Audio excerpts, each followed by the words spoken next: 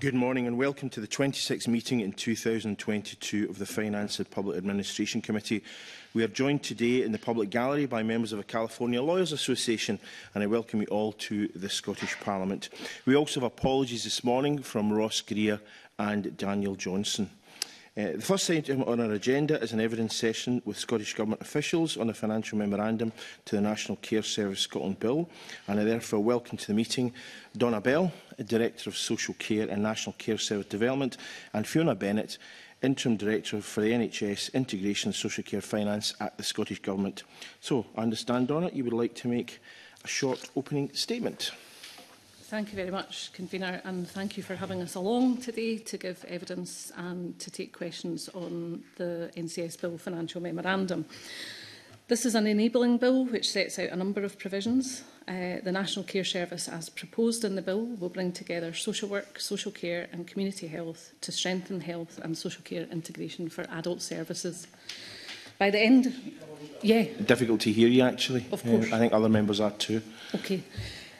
So by the end of this Parliament, uh, accountability for adult social work and care support will transfer from local government to Scottish ministers.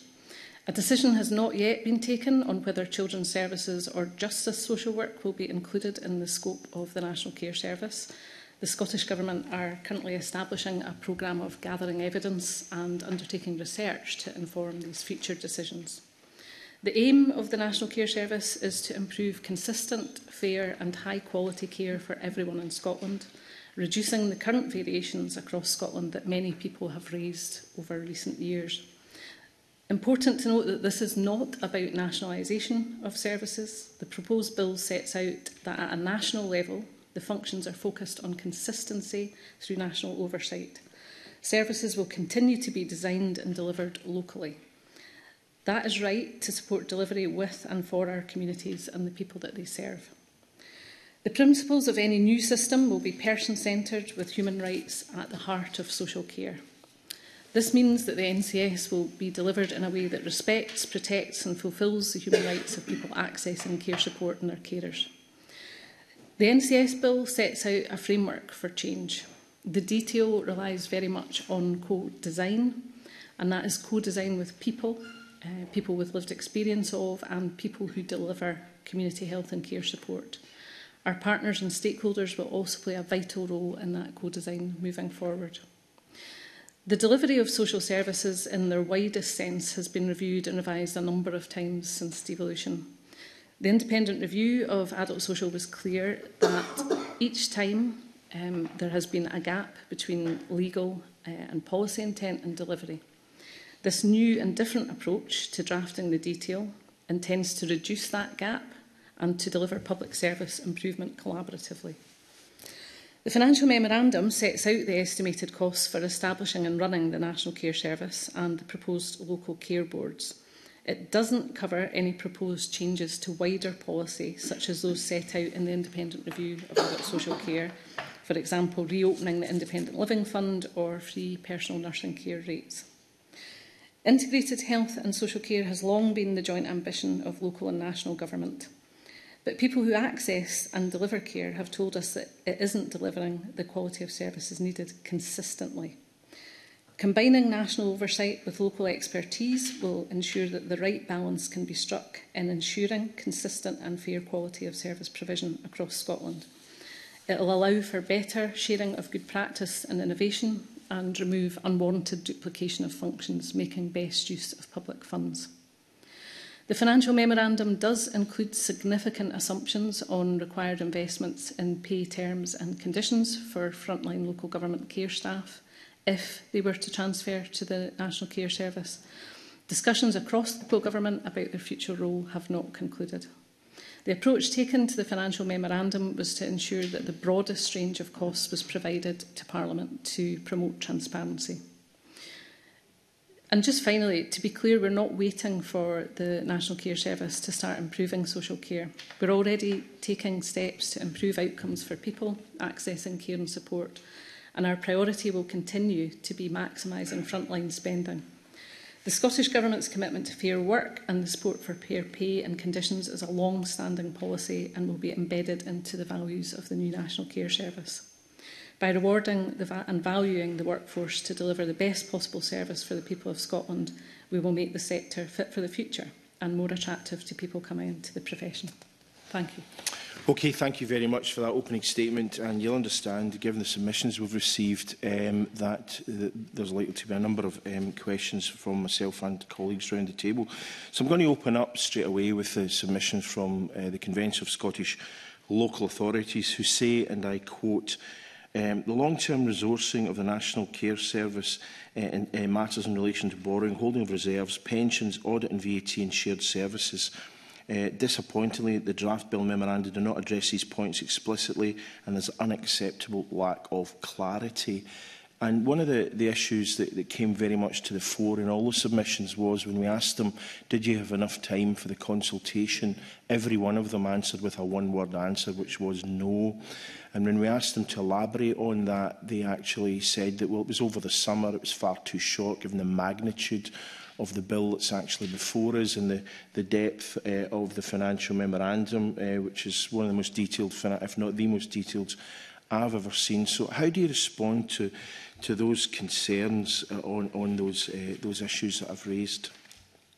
Thank you, Convener. So the consultation was um, very well um, responded to.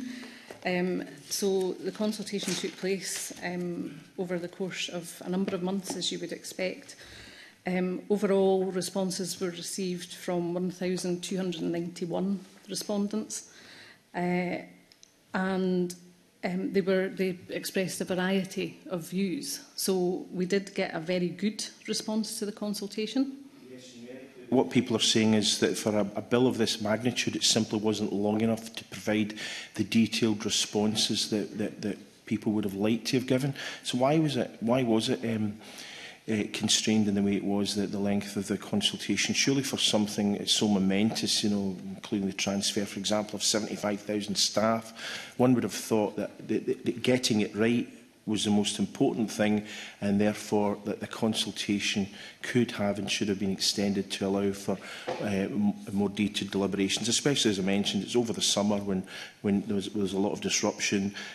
people come out of the pandemic when folk aren't, you know, they've not got the same um, uh, uh, Zoom is standing the ability to communicate with colleagues, etc. So wh why was there not more time given to people to, to actually uh, tease out a lot of the issues that have been raised as a result? So the time given for the consultation was in line with the time given for any other consultation um, on legislation. I think it's important to note that there, um, this is an enabling bill um, and um, there is significant detail that is yet to be worked out through the co-design process. So um, while um, the consultation has focused on the primary legislation at this point, there will be a significant opportunity to continue to um, consult um, and particularly around the co-design point. Um, the, the difference with this bill is that we will um, work with people to co-design um, the detail which will give people plenty of opportunity to engage on um, the very detailed matters that you have raised in your comments. it, yeah, I mean, I think to be honest, though, it looks to me, and I think many others, that we could be building a house on sand here. I mean, you have to get the primary legislation right first before you can really think over secondary legislation. The, I mean, I, I'm struggling to remember when I've actually had such uh, submissions that have been quite so excoriating uh, uh, with regard to such a bill in terms of financial aspects of it. Uh, I, mean, basically, I mean, for example, another thing that the cause I've, have I've talked about is the fact that there was no business case just before the draft bill to set out the rationale, costs, benefits and risks of the National Care Service to facilitate meaningful scrutiny by Parliament. So again, why why would that? Why is not that not been been done in terms of the, the, the financial memorandum. And I know how bills have been done in the past. I mean, I've had financial memorandum the, over the years have only necessitated one or two pages, and there's not been a lot of meat in them. But this is, this is a monumental change over a number of years affecting an extremely vulnerable um, section of our of, of all our uh, communities. So, so surely much more uh, thought and depth should be put into the financial aspects of it and the devel deliverability of it in, in, in financial terms? So I would agree it is a very uh, complex and um, significant uh, bill. I Um, in terms of the business case, so uh, the programme business case is um, in development at the moment and will be published shortly. I think given the nature and complexity of uh, the changes proposed, there will be, uh, I suspect, three business cases that will be brought forward um, to address um, the very specific nature of the change around the care boards, um, around the integrated health and social care record, and also on any organisational change that is required. So um, the work to develop the detail is underway at the moment, but again, that is subject to the co-design process, which will influence the final shape of the National Care Service um, as set out in the financial memorandum and in the bill itself. So there is detailed and, um, in fact, very detailed work going on at the moment to set all of that out. And that will give Parliament and others the opportunity to scrutinise this in um, quite some detail. I mean, I'm interested that you mentioned the co-design phase a couple of times now. I mean, that there is a, a feeling uh, among organisations such as our, uh, our local authorities that they're being bounced into this, mm -hmm. and they're not. that the co-design is it's not really a, you know, a, a kind of meeting of minds or indeed equals in terms of this. So, how is this co-design actually going to work in terms of, and I'm thinking specifically about the financial structures, obviously, because that's our remit here rather than the, you know, the wider aspects So we've already um, launched the lived experience expert panel and the stakeholder panel that happened um, just in advance of the National Care Service Forum um, at the start of the month. So we've begun the co-design process and there are a number of events planned uh, to support that. I think um, We've been very clear with the, um, particularly with the people who use services, that form has to follow function. And um, the important part of this is to work with people to understand what they need to deliver for them um, and with them. So um, I'm, I'm not sure about your, your comments about being bounced. I, I'm, I Uh, haven't... Expression that's, um, uh, that's yeah. how people feel, you know, lack of consultation and almost imposition of how this is going to work rather than a, a working together to actually put, to put a system that might actually deliver over the next decade and beyond. That, that's really the kind of expression that I'm getting. I don't know, I don't know if colleagues have got a different view, but that's certainly the impression I get from submissions that we've been getting and from speaking to my local authority and others. Right, okay. So certainly um, the approach to co-design has been um, hugely welcomed by people who use services, by people who work in services. Um, the approach has been almost universally welcomed from people who want to be involved in shaping the National Care Service and shaping the delivery of services that they either use now or are likely to use in the future. So um, that and that was certainly reinforced at the National Care Service Forum a few weeks ago. So there is huge enthusiasm for the co-design process. Um, It is in line with the Scottish approach to service design, which has been used in the development of uh, Social Security Scotland and has been very successful. Um, I, I think that the, the people who've been involved in that process have found it very useful. They've found it um, has improved both the development and the delivery of services for them. So certainly there, uh, there are clearly mixed views on the co-design process, but from what we hear from people who use and work in services, they are welcoming of this approach. Okay, um, I think one of the, the concerns, again, all some sum, the submissions that we've received um, expressed concern about is the VAT um, uh, baseline that's actually included in the figures on Table 2. And I mean, to be fair, I, I think obviously time has trundled on.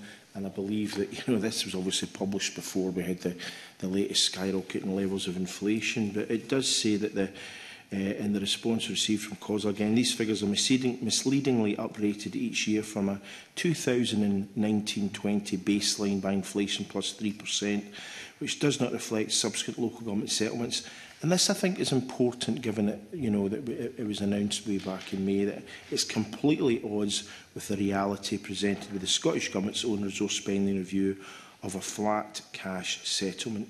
So um, surely that alone means that the financial memorandum is no longer fit for purpose and requires a, a, an updating at least So there are slightly different bases for the two figures that we, we mentioned there. The numbers shown in Table 2 are intended to show what may happen to spend over the coming years, so it's different from the resource spending review figures, which set out what the budget may look like. We do note that these are indicative figures while we do further work through that co-design process around the exact services that will be transferred. Inflation is another key point. This was written at a point in time in May There has been significant changes to inflation since then, so we absolutely are keeping a live model behind the scenes of changes to any financial assumptions that take place. But I think it's just an important point to note that these are indicative future expenditure numbers rather than budget, which is what the, the RSR is intended to set out. Yeah, because I mean, what the, what the concern, of course, is that um, the cost use a starting point, current expenditure, and the actual cost of delivery of social care. And I think all those who are currently responsible for delivery of social care fear that um, there just won't be enough money, frankly, and, you know, for the delivery of this service, especially as we're already, uh, as a parliament, under severe financial pressure. Local authorities are already facing uh, financial restrictions, and, and, and, and we've got an ageing population. It's about how How is this circle going to be squared? So as noted, the financial memorandum doesn't intend to set out the full range of policy commitments that are being looked at in terms of social care. It is focused on the establishment of the National Care Service. Oh yeah, no, I realise that. I mean, there's actually a number of caveats right at the start yeah. of the financial memorandum that make that, and Spice have repeated that in their submission to us, so I think we're actually aware of that. But at the same time, you know, there's a structure being developed here actually, whereas it, eh, which looks to have unrealistic parameters. And I think that's of concern to, to all of us. I suppose on the calculation method that we've used in terms of Table 2, we've, we've tried to be as transparent as possible. So we've taken publicly available data on expenditure for these services. We've used inflation, which is set out at the bottom of paragraph 30, and we've used the 3% inflator in terms of increasing demand if inflation goes above the figures there, which we know it has, etc. So we've tried to be transparent about how that's been calculated and we will do much further work with local authorities, etc. through that process to understand the true cost base. So uh, uh, if, if that is the case and the true cost base is accepted, how will, where will resources come from in order to fund it? So that will ultimately be answered through the annual budget setting process. This financial memorandum again gives indicative costs of what relates to the provisions in the bill. Ultimately, we set budgets annually.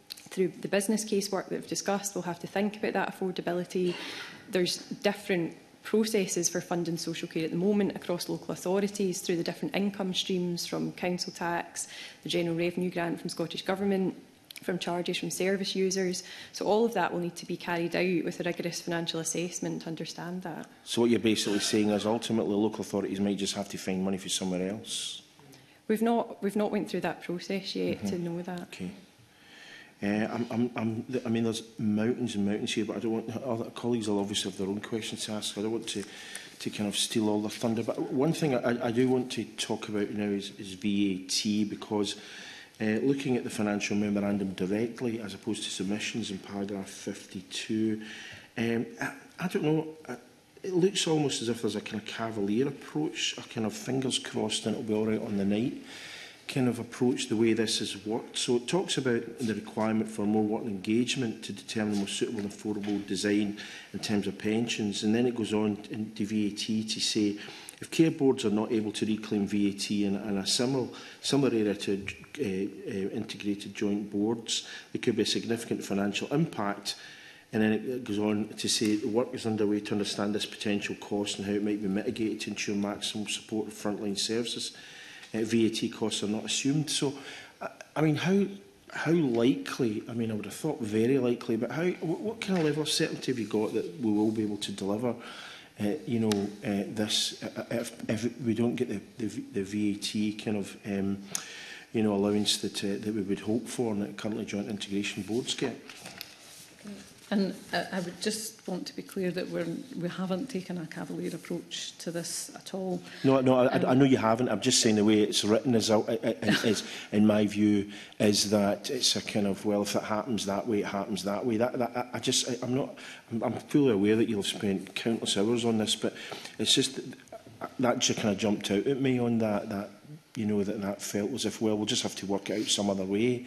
That's why I'm kind of a wee bit alarmed as to what the probability is that this will be resolved given the, the financial impact it will obviously have.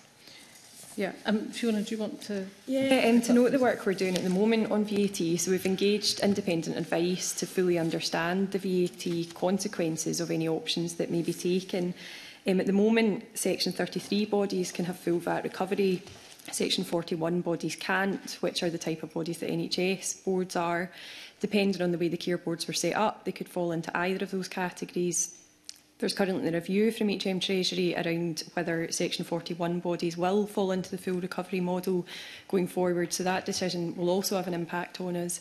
But ultimately, again, through that options appraisal and business case, we'll continue to seek independent expert advice to make sure we're fully aware of any VAT risks and mitigations.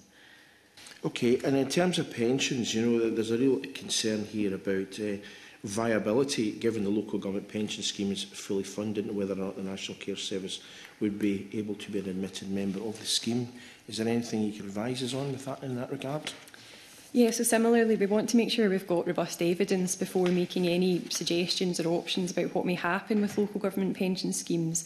We've recently put out a contract on Public Contract Scotland to procure again for advice for that to make sure that we are given an unbiased and evidence-based approach we would look to fully engage with the 11 different local government pension schemes to understand the impact of any members moving out of those schemes. But ultimately, the bill provides the ability for those staff to move, but doesn't say that they definitely will. So again, it would have to be considered on a, a local authority by local authority basis.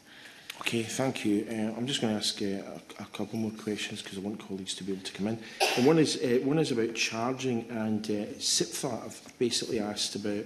They've said that there's concerns that the recommendation to increase fee personal and nursing care for self-funders will not necessarily deliver a reduction to the amount paid by self-funders. So what's the thinking behind that?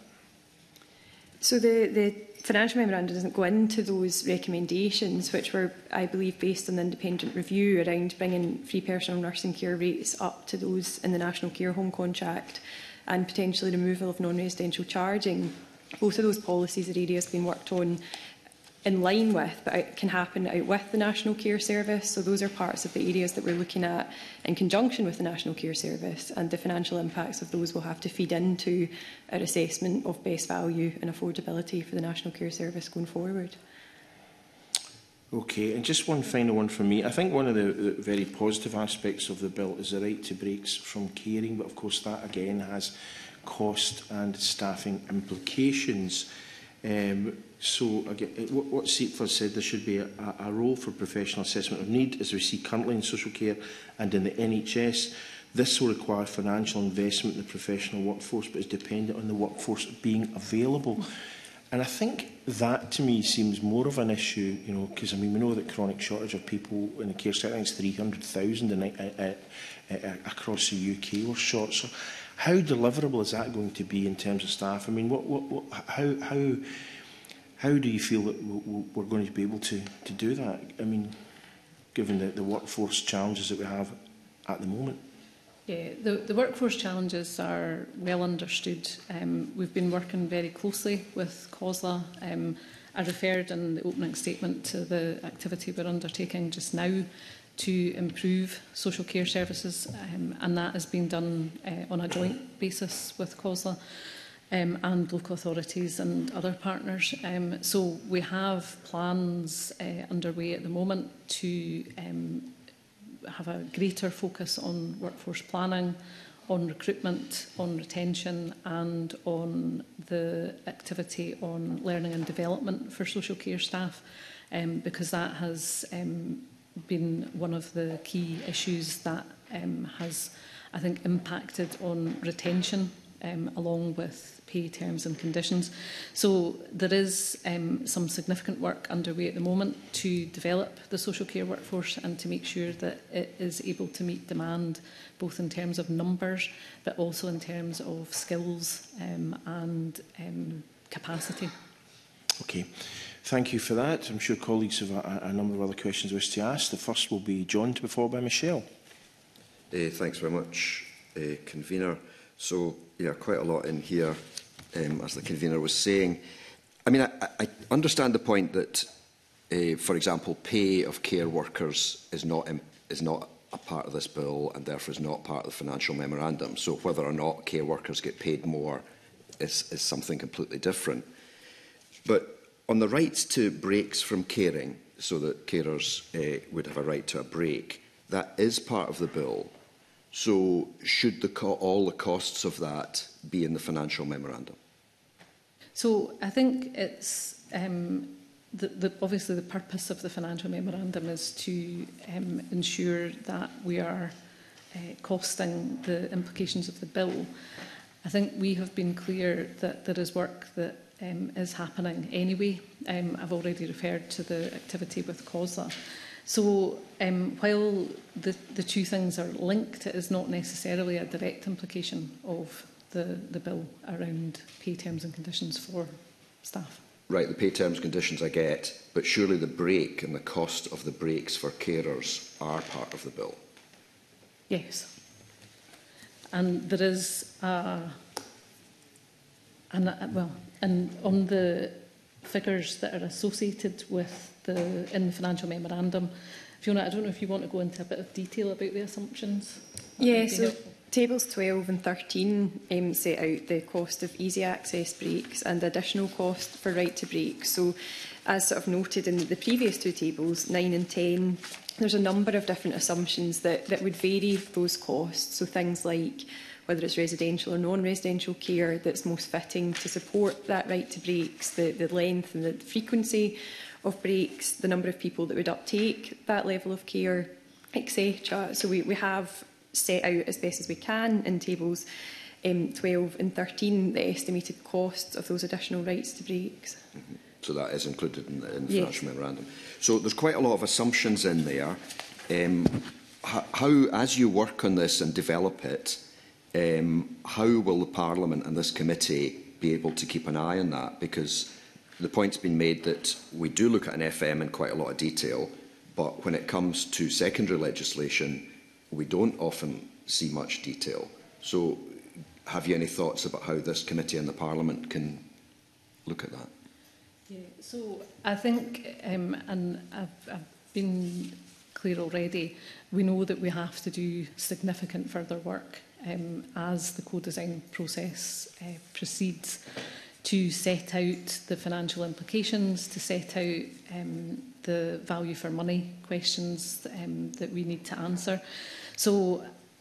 we will um, be very happy and um, would expect actually to provide the committee with all of the information that we are producing. Um, ministers will expect us to do that so parliamentary scrutiny can take place. Um, so the arrangements can be made to, to do that. Right, so maybe, maybe every quarter or once you get to a significant stage, you, you would... Yeah. What update would you, would you update the, the financial memorandum? Is that how it would be done? We would bring forward, um, so I've already referred to the business cases that we will produce um, that will set out the, um, the real detail of the, the costs and implications. So I think um, certainly providing the committee with those um, and with any updated financial projections as we move forward would um, be absolutely appropriate. Okay, thanks so much. Now, one of the points that Cosla and others raised was the fact that the present care service that they are providing will be partly funded by government grant and partly funded by council tax and, and so on and so forth. Um, so, I mean, to take a, a kind of round figure, say a particular council spending 100 million on care services, 80 million of that comes from grant, 20 million is they've raised locally by council tax. So when this transfers, would the government take the 80 million away from the council or would it take 100 million away from the council?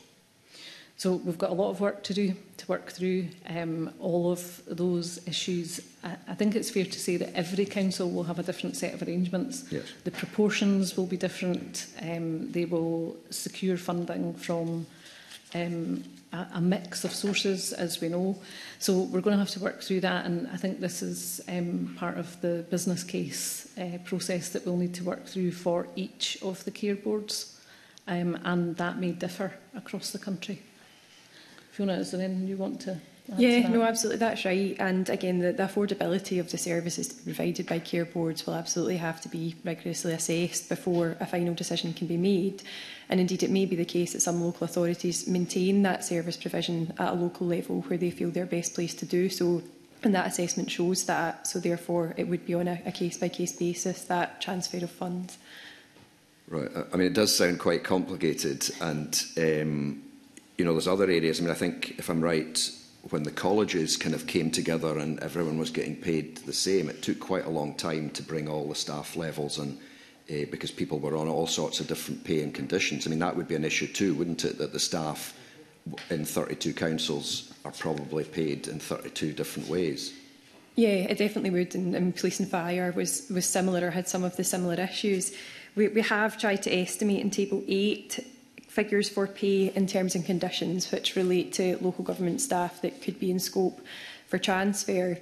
The, the baseline for that was very difficult to, to get one because there could be 32 different rates of pay, terms and conditions, etc. But we've, we've done our best to show from no staff transferring to all staff transferring what the annual increase for pay in terms and conditions might look like. So it's helpful to note, I think, in Table 8, the bottom two lines are for staff in direct delivery roles for social care.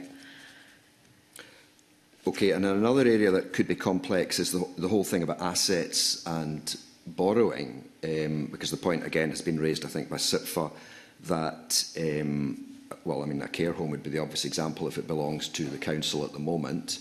It, would that transfer and how much of the borrowing, because probably most councils will have borrowed uh, to, to finance that kind of thing, although I think in Glasgow actually they, they got rid of a number of existing smaller care homes and built some larger new ones. So again, that, that would have to be case by case, would it? Yeah, it would, and there'll be different arrangements whether local authorities own some buildings like daycare centres, care homes. They could be leased, they could be under PFI agreements. There's, again, we'd have to go into almost at local authority by local authority, but also asset by asset basis to fully understand that. Um, there is publicly available information through the Care Inspectorate about local authority run care homes and other services. So we do have an indicative idea of the level of assets potentially in scope, but we'd have to do much more work with local authorities to understand the current cost base including things like backlog maintenance. There's, there's various different factors as well as the actual capital value of the asset. I think just to make a point, um, it's absolutely not a foregone conclusion that assets will or would transfer. Um, and I think we would say the same about staff. That will um, be a matter for discussion. I think it's important um, that there is an ability to transfer assets, but um, it is not a necessity. Um, but it's necessary to potentially well, to support the transfer of accountability. Ministers um, may need uh, to have the ability to step in or, an, or appoint an operator of last resort. So I think it's just important that we don't as make assumptions that we are um, transferring all assets or all staff um, before we've had that opportunity to go through the co-design process. Yeah, I mean, I, I agree you shouldn't be making a sweeping assumption. It just makes it very difficult for this yeah. committee to examine all of this mm -hmm. when it could be all the assets transfer, it could be none of the assets transfer, or it could be some kind of mixture. And, and we've no idea what kind of cost would be used for that. Okay, I suspect other colleagues may come back on that as well. Just on the transferring the staff point, the suggestion was made that not all the staff might uh, be covered by TUPE And I was a little bit surprised about that. I would have thought if they were with the council at the moment or with the integrated joint board, if they came into the National Care Service, all the terms and conditions would be protected.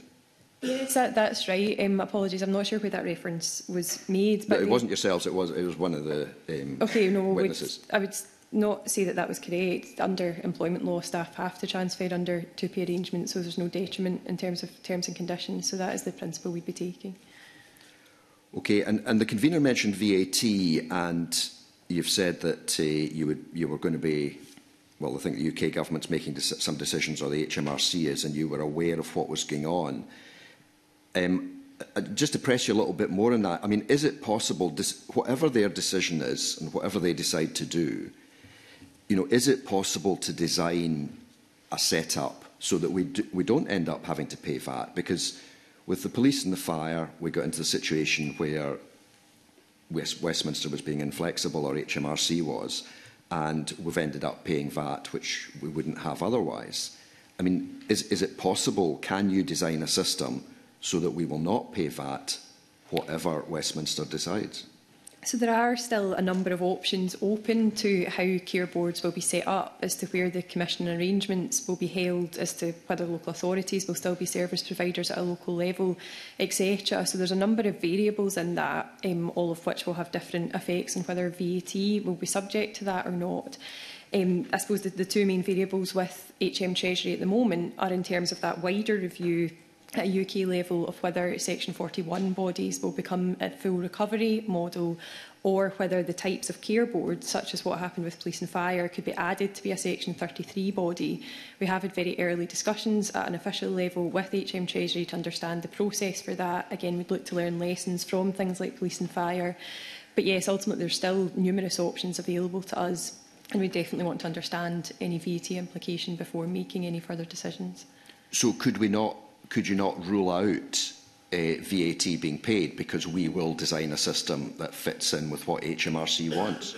I, I don't think it'd be the right thing to look at that in isolation. So I think it's important to think of the number of factors that we're looking to achieve here. VAT not being paid is absolutely one of those, but we need to understand that the model that's set up delivers the numerous things that the National Care Service is trying to achieve, as I say, including not incurring that VAT cost. So it absolutely will be taken in the round of factors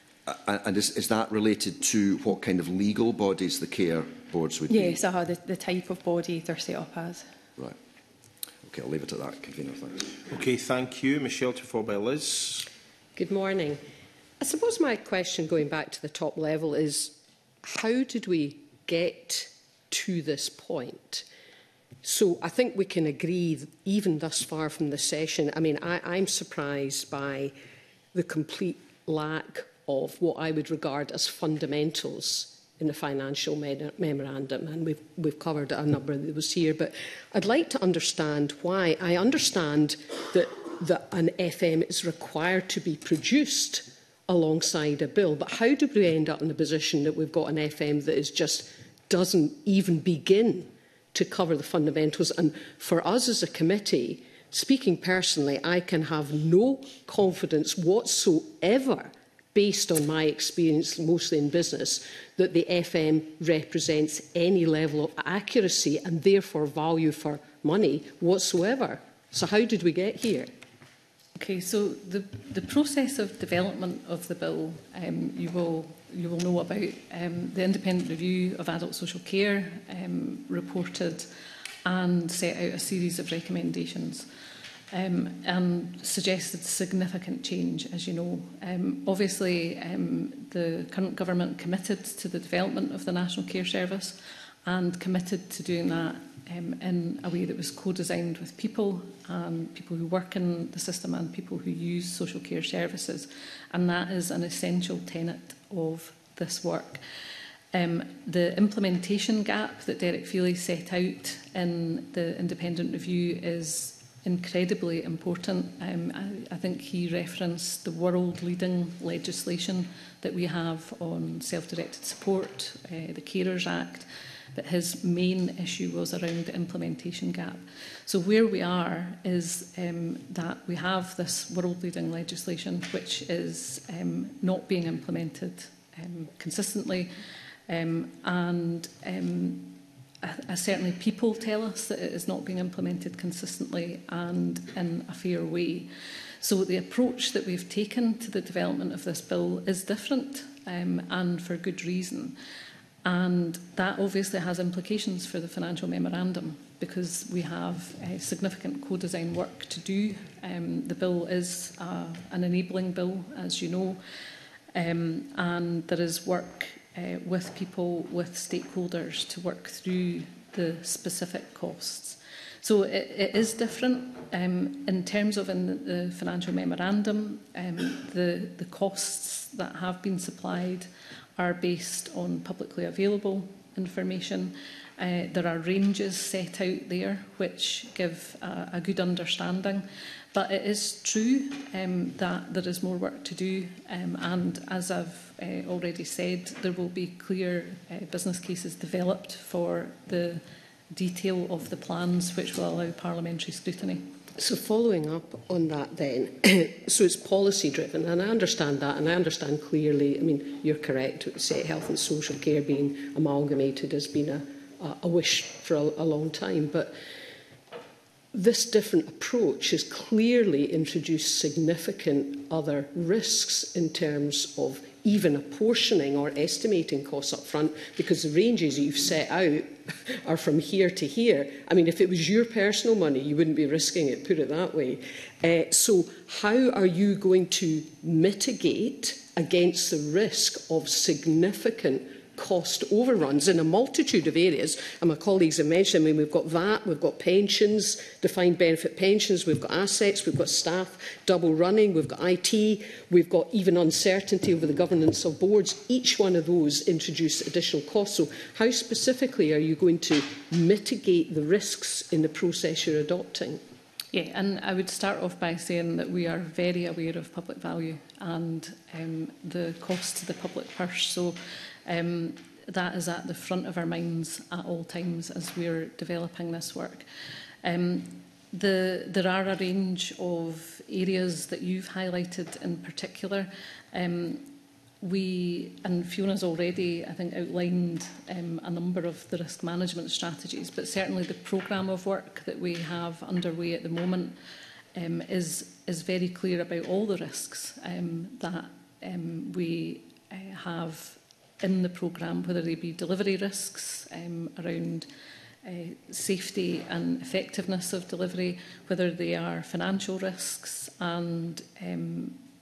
the range of risks that um, we may uh, well, that may emerge um, because mm-hmm. we're, we're very clear that there are a number of risks within this.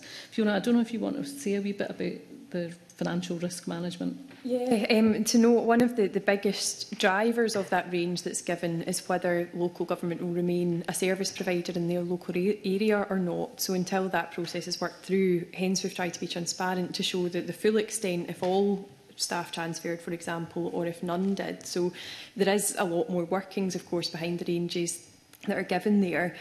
In terms of the financial risk of overruns, again, this sets out a financial estimate at a point in time. We went mm. through the annual budget process, set a budget for the National Care Service development for that future year that would set out what budget is available for that. And that would be backed up through the business case approach, so the value for money assessment with economic case and financial case in line with Green Book guidance. So we would only make financial commitments when we had the evidence to show that that did prove value for money was there.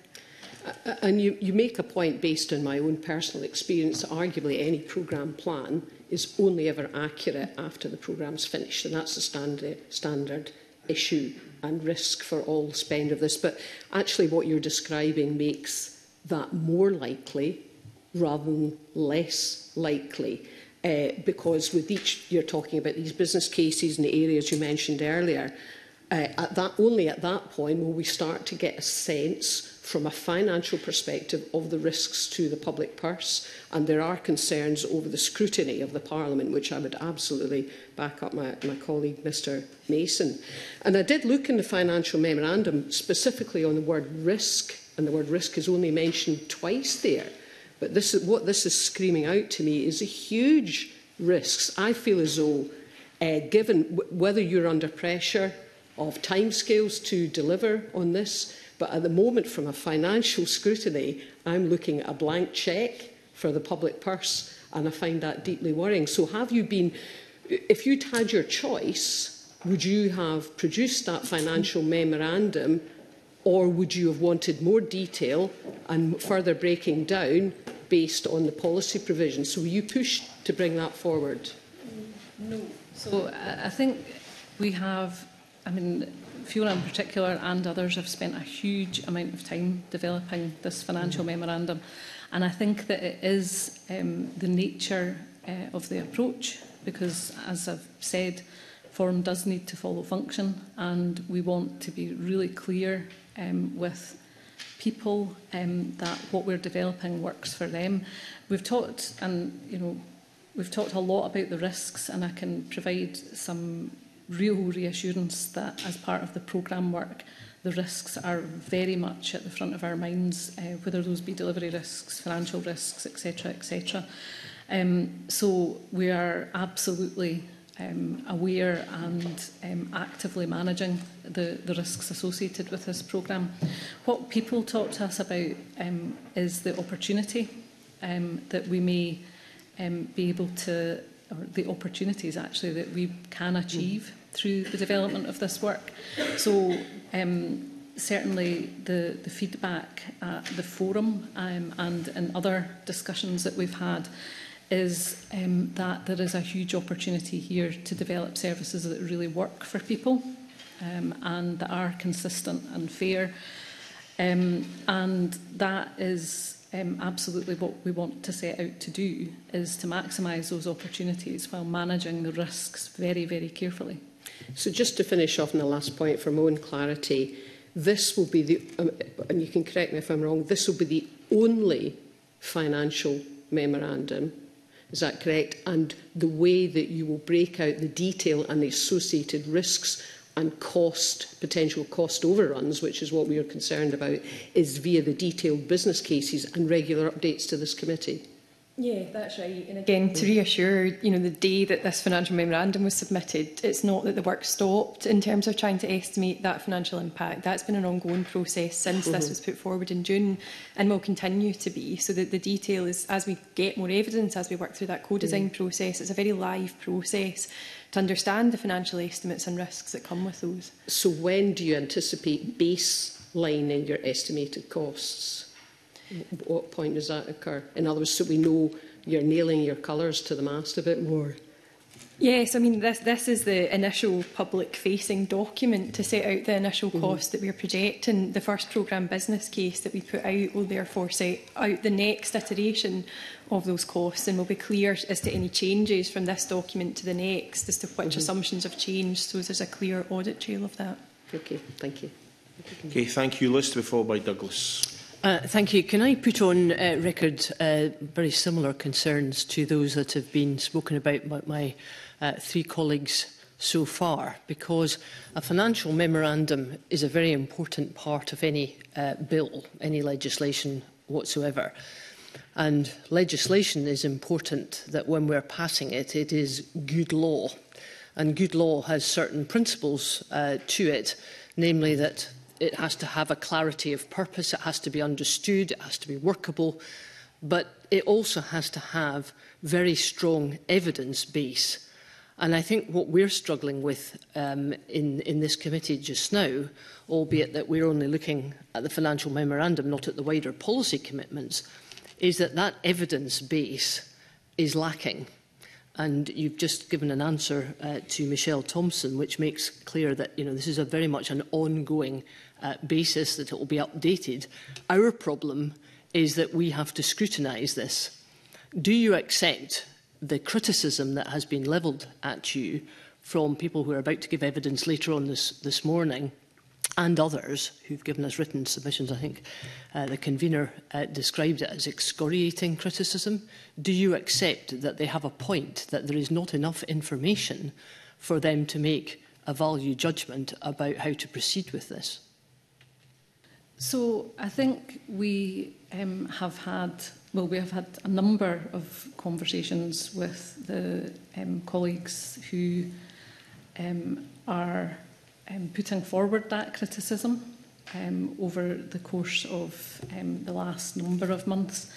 I think this all goes back to the way in which this bill is being developed. And the way in which it is being developed is to use uh, the co-design process. And I absolutely understand what you say about good law.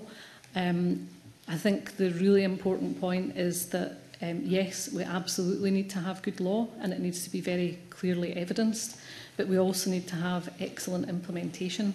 And working in this way to work with people to co-design um, the, the, the fullness of the National Care Service will help us and help people to um, ensure that we're able to effectively implement the National Care Service. So, so would you accept that um, we've moved too quickly, um, given that you know you obviously got to take evidence from the stakeholders who are involved in this, uh, who are the ones who are going to be on the front line of delivering uh, what effectively will be a, a new system?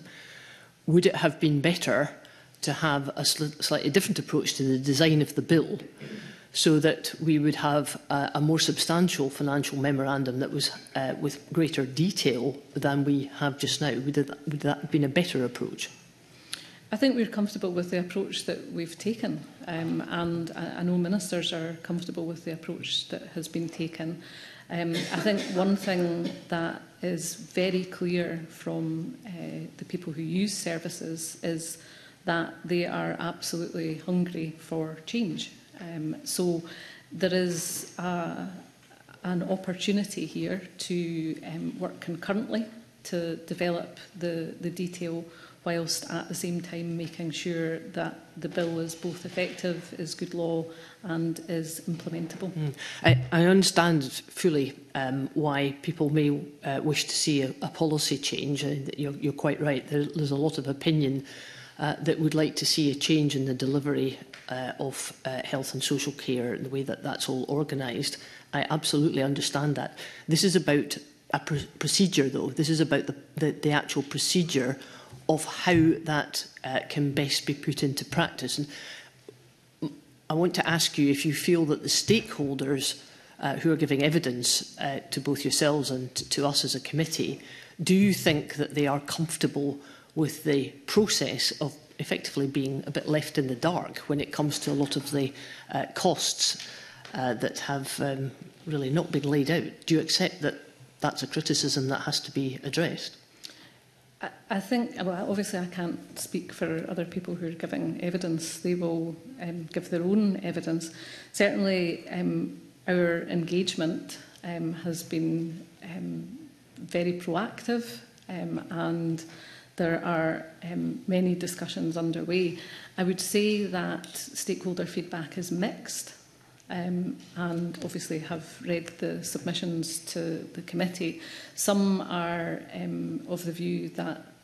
there hasn't been enough time and there hasn't been enough consultation Others, um, as I've already said, are very keen to progress with change. Mm -hmm. I, th I think my final point, uh, convener, is, is that you know, I remember in this Parliament, uh, I think Mr Mason uh, cited the example of uh, college uh, regionalisation, um, which was a very substantial change to the uh, college sector. I also remember the Children and Young People's Bill, which is a huge bill, Um, and at the beginning of these processes, we had issues about the financial uh, memorandum and just how accurate that could be. Because if it's a very, very substantial piece of legislation, which these were, not only does it take a lot of time to go through the Parliament, um, but particularly in a time like this where inflation costs are obviously rising uh, very substantially, um, that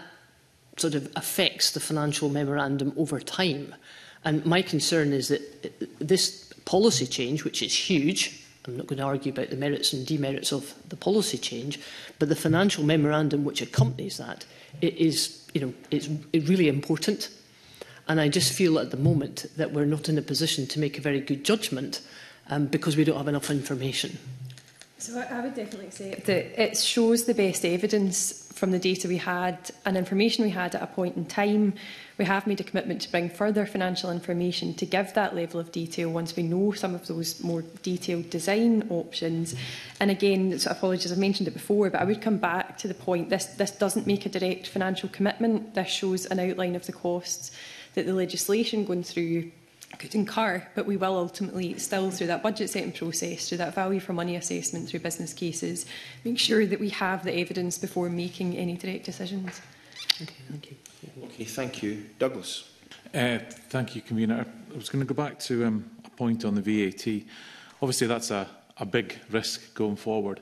So is there any, you know, what could that be the worst case scenario? And how much are we talking about here? was a detailed assessment done when IGBs were set up in 2013-14 around the potential VAT impact, which estimated that to be in the region of 32 million. That was done on an individual local authority basis, so there was a collection of data and analysis done.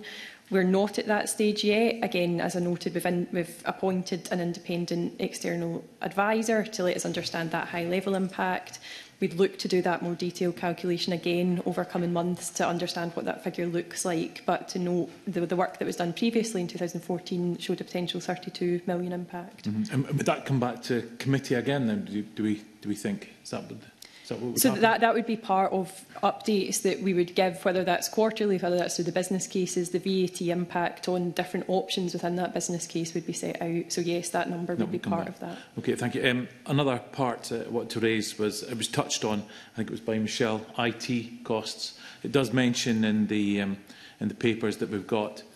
that obviously a key part of the bill is to um, enable creation of nationally consistent, integrated and accessible electronic social care and health record.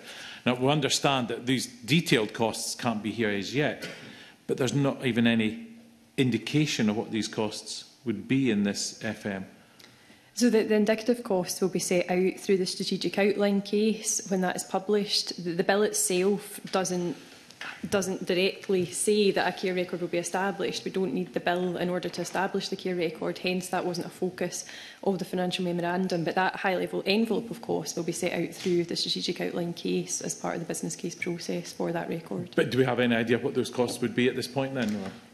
No, we've not. We've not done a detailed costings on yet. At the moment, we've done some preparatory work. So we've done an international comparison of other that's live at the moment in terms of where other places have set up something similar.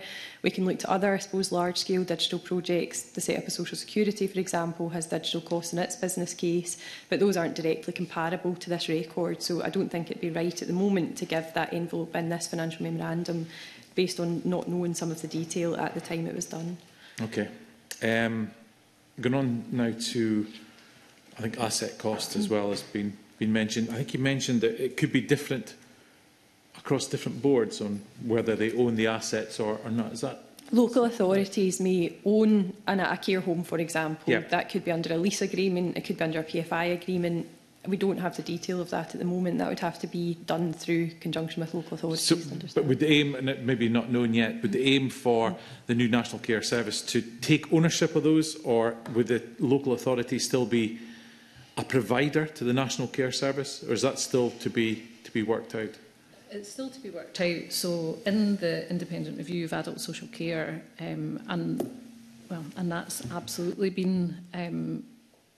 agreed uh, by ministers. Um, Derek Feely and his panel were very clear that local authorities have a clear role to play in the future of uh, social care and um, absolutely um, could and in his view should be an ongoing provider of social care.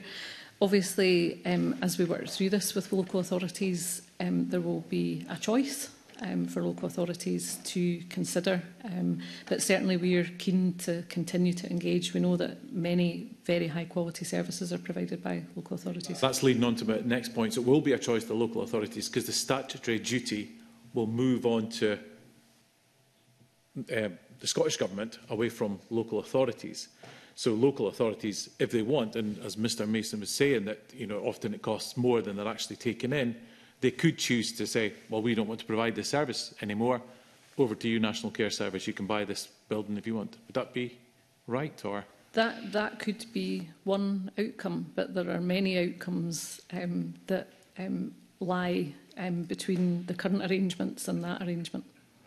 So then, as we go through, as you say, the, the business cases, then there will be additional capital costs potentially to the, to the Scottish Government to buy assets from local government who choose to, to pull out of this service and, and leave it up to the National Care Service?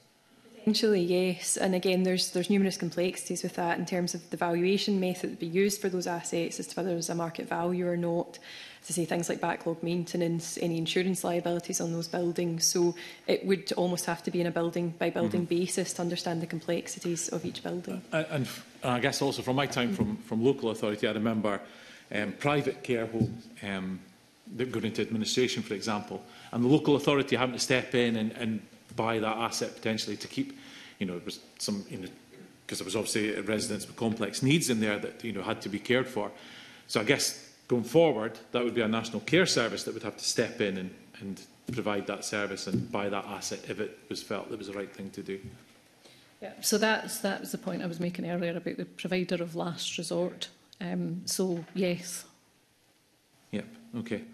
Um, and I guess other slight question I had was around some local authorities have alios providing this um, this um, care. So I guess it would be, I guess that would, in the future, we decided whether that alio would still remain part of a local authority or potentially that would move across to National Care Service or whether that alio would continue and provide the care as a, as a provider. Would that be that be right? Yeah, we need to do that analysis to understand the most effective model, both in terms of cost and delivery of services. So yes, we'd have to understand whether those values would transfer or remain.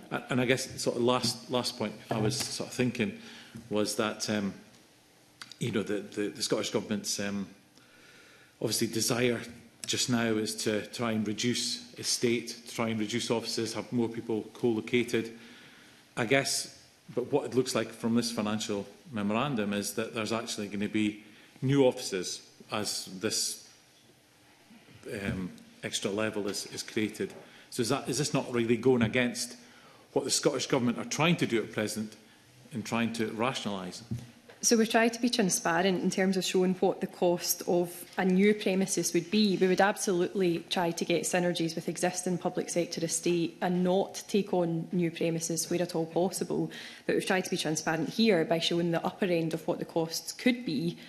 if that was not possible for some reason, if it was deemed not fit for purpose. But absolutely we'd, we'd look to maximise the existing public sector estate before mm taking on any new property commitments.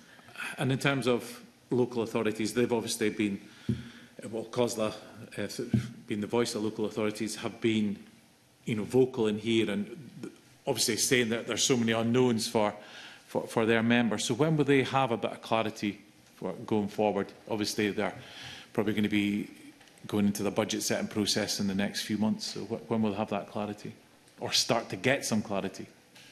So the intention is to uh, publish the programme business case uh, later this year. Um, what I would say is that we um, continue to engage with COSLA uh, and local authorities on all of this work. Um, it is very, very complex, and we know um, that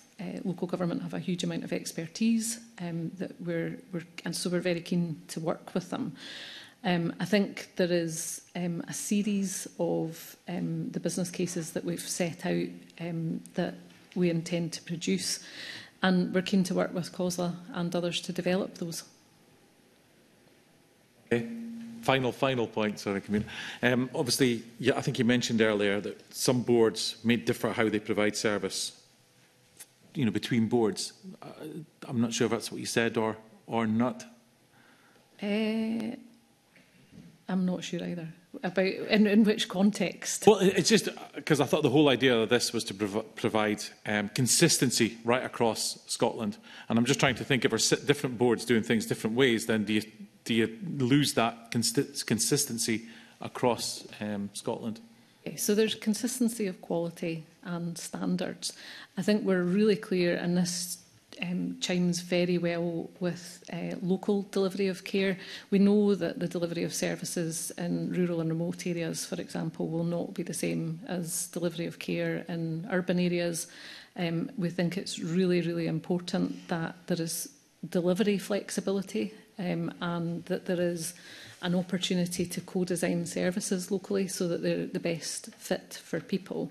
So um, it is that mixture of um, national frameworks around both standards and quality and the ability to design services locally to meet the needs of the population.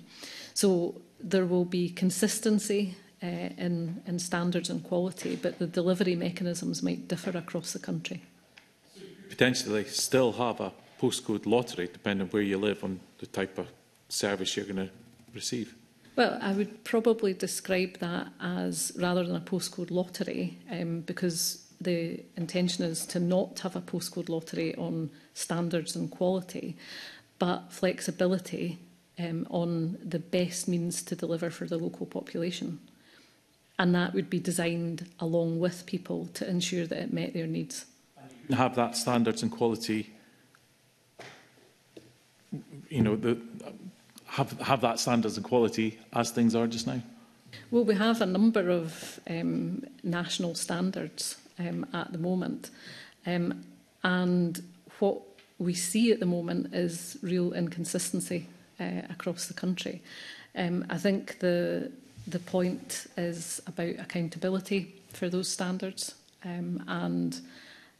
um, how people can hold um, those who are accountable accountable at the, the present time.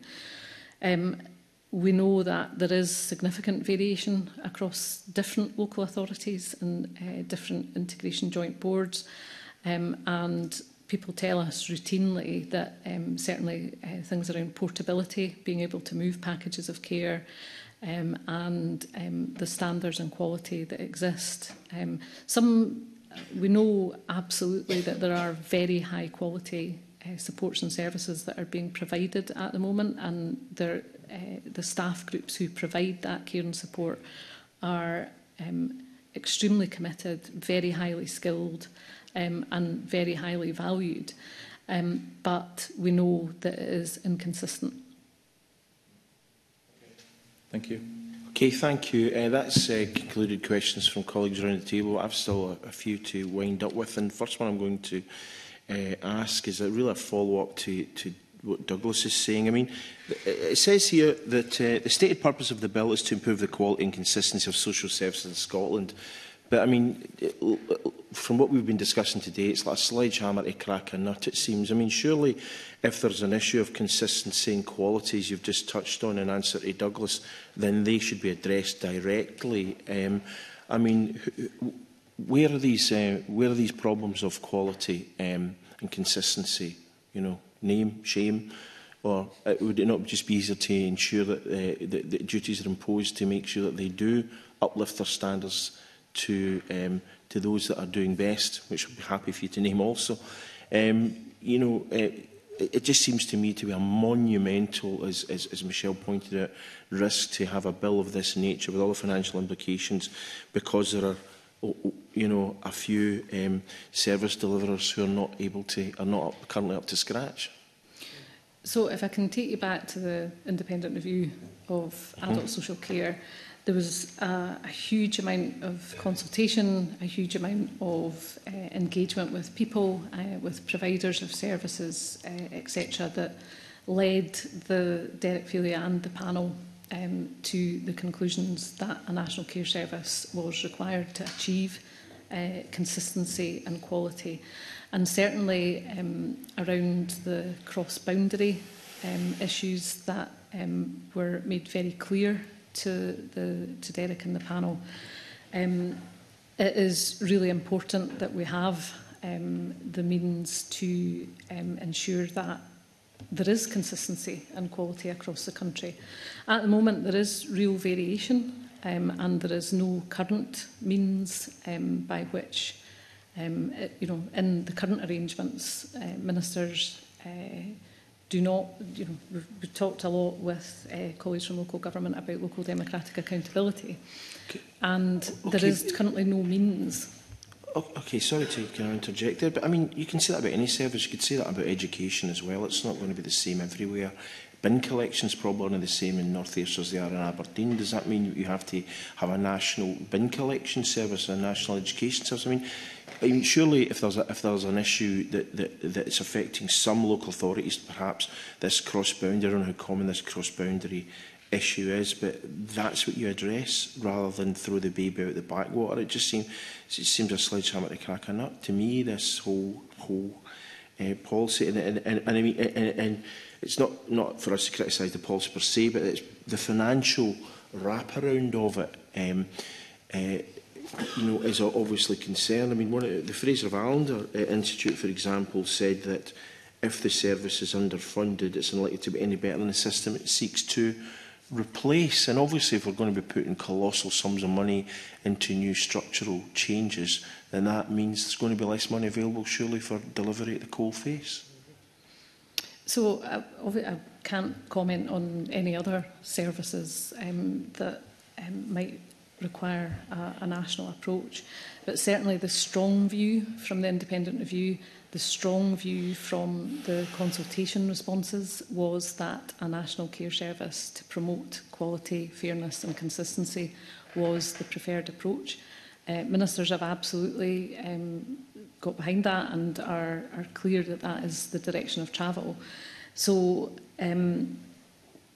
I, I think that there It is a significant change, um, and we are very well aware of the significance of the, the change and the complexity of the change.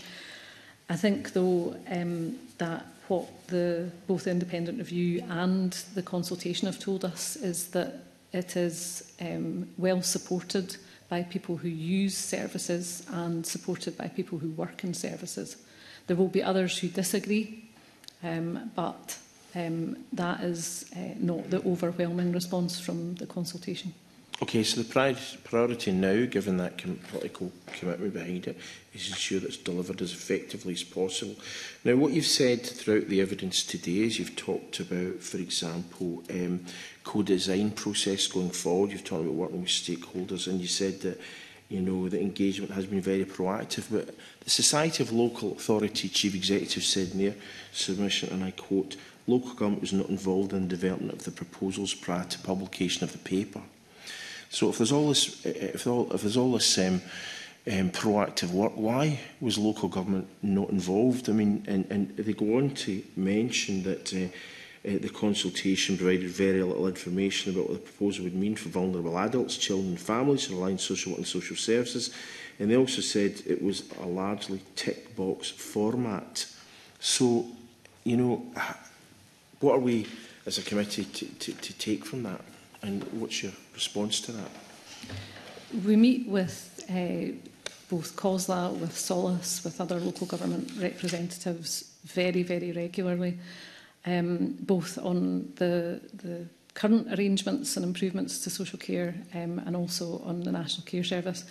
Um, we've invited COSLA and SOLAS to be part of the Strategic Delivery Board for the National Care Service and um, to contribute to the programme.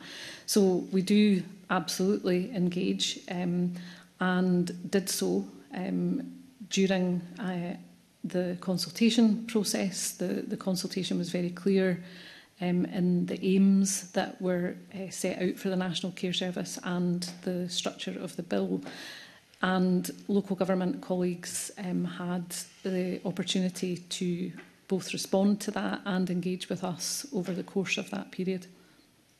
Okay, no doubt we'll, we'll, we'll question them when we when we have the, the panel before us in the next uh, few minutes. But uh, the, the financial memorandum anticipates savings and efficiencies through shared service across the national care service, but doesn't acknowledge the corresponding loss of economies of scale for local government. Does it? Does it?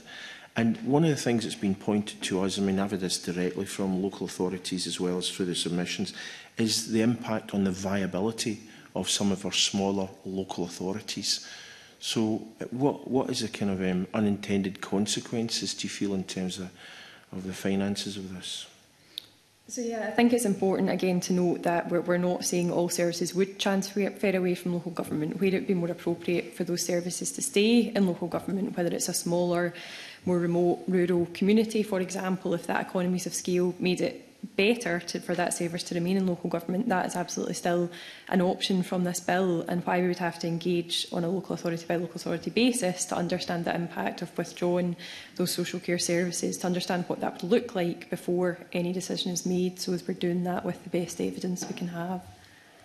So there may or may not be withdrawal of 75,000 staff from local authorities. Is that what you're saying? That, that's what's set out, yeah. So the, the total range of staff in scope at the moment from SC data is 75,000 staff split between the 32 different local authorities. But the point I'm making is will viability of the local authority be taken into account or will this be done purely on the, on the kind of isolated nature of looking specifically at this, this delivery of this service? We'll, we'll need to understand the impact across local authorities, absolutely. Okay, now another thing this, uh, the, that Solis have said is, is that, uh, and I quote, organisational changes appear likely to consume much of the total funding available for the NCS, which is stated to be over 840 million by 26-27. This is about half of the total investment in adult social care alone that causes Social Work Scotland and others consider is needed. In addition, this would not include the investment in justice and children's social work and social care services that are desperately needed now. As was asked uh, uh, at the beginning, we're in a situation of financial uh, difficulty, uh, financial challenge in Scotland and across the UK. So how are we going to be able to square this circle of having these huge organisational changes and at the same time being able to deliver for the people who require this service? So I think it's important to note the, the types of costs that are included in the financial memorandum. So there, there's that public commitment to the, the 25% increase over the course of Parliament, which you've referenced. When, when we look at specific costs, such as in Table 8, the, the pay in terms of conditions costs, which are a substantial amount of the care board's costs, that is for those local authority staff who would potentially transfer, so the 75,000 those costs are in the system, those, those staff exist. That's again trying to be transparent to show that those costs would then fall to the care board. But the, the pay and terms and conditions uplift each year will happen within local authorities now So I think it's the, sorry, it's organisational change I'm talking about, not the, not the, you know. Yeah, but just when we quote the number there, so in terms of the 25% increase, which is 8 to 840 million, mm. compared to the cost in the financial memorandum, not all costs in the financial memorandum are for organisational change. Some are, but there's substantive amounts for things like pay, terms and conditions as well. Okay, lastly from me, and the last one in this session, Uh, is it your view that uh, the financial memorandum delivers best estimates in the costs of delivery of this legislation? I believe that it does, based on the time it was written, based on the data and Hold on a second. Based on the time it was written? Okay, so we're not at the time it was written. Uh, in terms of where we are now, which is more important going forward? So, so yes, things that we've mentioned, like inflation, are obviously extremely volatile at the moment. So, you know, the numbers that are presented for inflation will have to and are being reviewed on a regular basis. But yes, I believe that this does set out the best estimate of the envelope costs that we have at the present time. Okay, well, thank you very much. Uh, it, uh, uh, it's been a fairly long session, so thank you very much both to Donna Bell and Fiona Bennett for their evidence this morning. Uh, we're going to have a break for five minutes and then we'll um, take further evidence. Okay, thank you.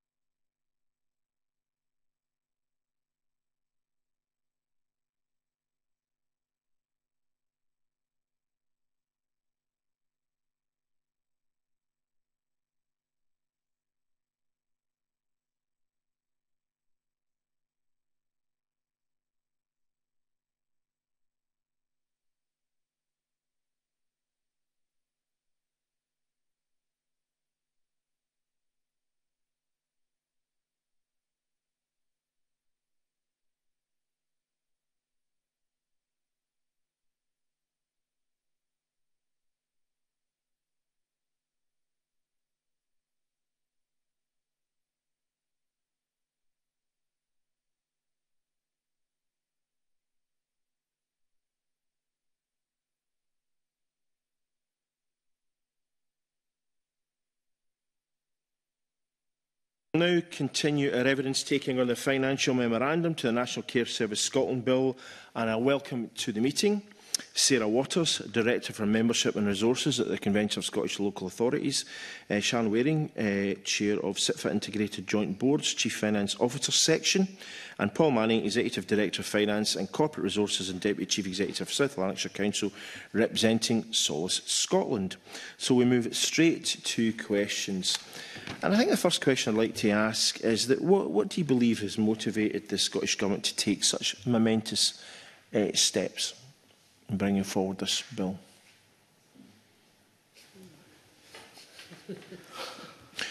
Because just to help you out, I mean, you know, because uh, seeing as you're wanting to take the fifth, it seems what they've basically said is to ensure consistency and quality of service. So what is it about the services that uh, lack the quality and consistency that we all want to see?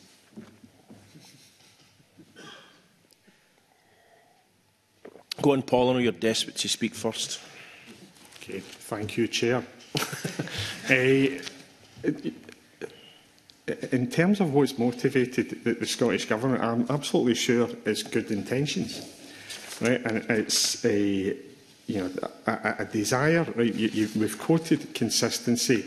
We've quoted a, eh, and, and the discussions that we overheard earlier on, a, eh, you know, a, a, an absolute desire. And, and again, th this comes through in consultation to improve the quality of services. And I think everybody, including us, including the people who sat here preceding us, would share right, those as goals. I think the issue that we've got is the route via which we get there. Right? Be because the, the, the change that, that's mapped out uh, in, in the financial memorandum, and that's the, the part that we're here to talk about today specifically, The change that's mapped out is seismic, right? and it means wholesale, complete change for services that, that, that are currently being provided by uh, health and social care partnerships and by local authorities and by NHS boards across Scotland. And it will be far-reaching and it's got a massive degree of risk attached to it. Mm -hmm. and, and I suppose, you know, coming back to, to the business that we've got in front of us today, in, in terms of the risk, the quantification right, of the, you know, the, the financial change and the financial element of that risk, I, I think has loose ends in it, right? And I think they're considerable and I think they're far-reaching. So, you know, coming back to, to your question, Chair, it, it's it's absolutely founded on good intentions. We all share the good intentions but we've got misgivings about the path that's being laid out to take us there. I mean, to be fair, I think it's more than misgivings, having read all three of your submissions. I mean, I think, you know, that you, there clearly is, is strong, from what I am reading, correct me if I'm wrong, opposition to this whole philosophy in the bill. And, and, and obviously, you've been, you we're looking at the financial aspects of that. But what alternatives uh, could the, the Scottish Government um, deliver if it was not going down this uh, uh, uh, path, uh, Shan? I, I suppose going back to that other point as well about the role of um, the care inspectorate and, and about that quality and standards. No, we do have mechanisms in place currently um, that uh, look at quality of services and drive that quality up. I suppose the question is, how do we build on the existing arrangements that we have in place? Um, integrated joint boards have been up and running for seven years. It's not a long length of time, but there's also a, a lot of reserved legislation there that could actually be brought in to take them on to the next step. But it seems that we are actually you know, throwing the baby out of the bathwater and starting again. So some of the aspects that could actually be taken forward is actually to develop integrated joint boards further. And the original legislation allowed for that to happen in due course. So I think there are options to take that forward and allow the integration joint boards to grow and be a bit more independent and to run more of these services um, as the intentions were originally set out. So Sarah, is that SEPFA's view? And, uh, you know, there, there is an element of frustration, understand, among Scottish ministers and other MSPs, the fact that there still is this inconsistency and there isn't the same level of quality everywhere. The, The build team, as you'll note, talked about, for example, specific issues cross-boundary. I don't know how big an issue that is. I mean, I think obviously COSLA will maintain the position that part of the reason for the, the, the perceived inconsistencies, the, the, the, the, quali the differentials in quality is because councils have had to take really tough choices over the last 10, 15 years in relation to resources and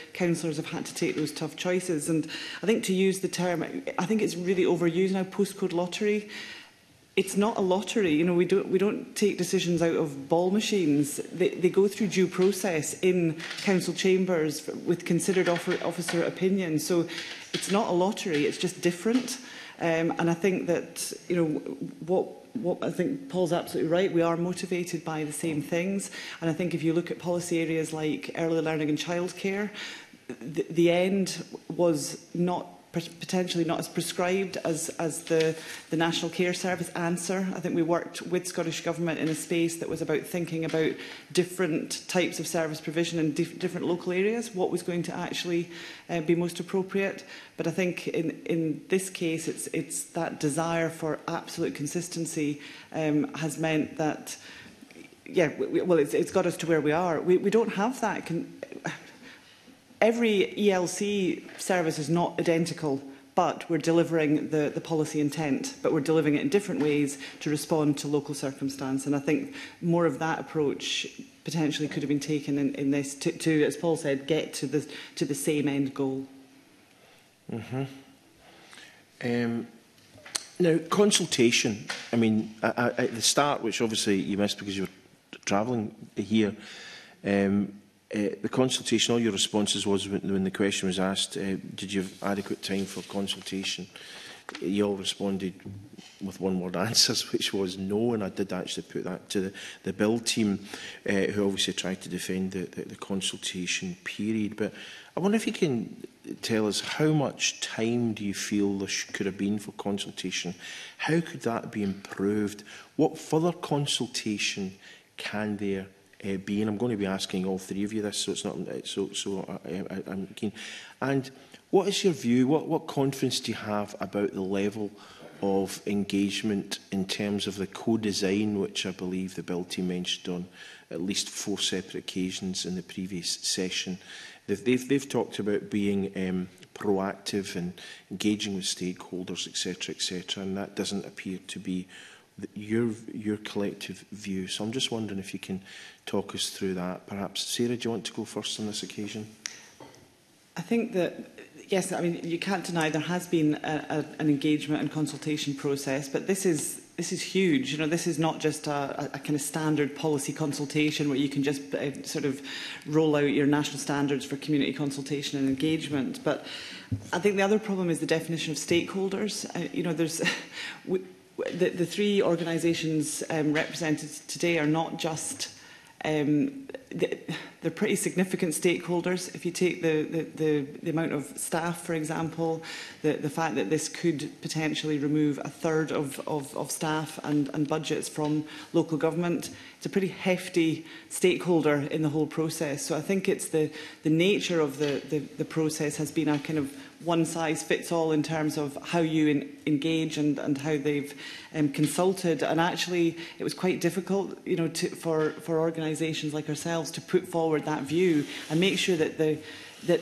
everybody was aware of the the scale of the stakeholder um, in, in this case. So I think that has perhaps been part of the, the, the issue um, uh, during the process.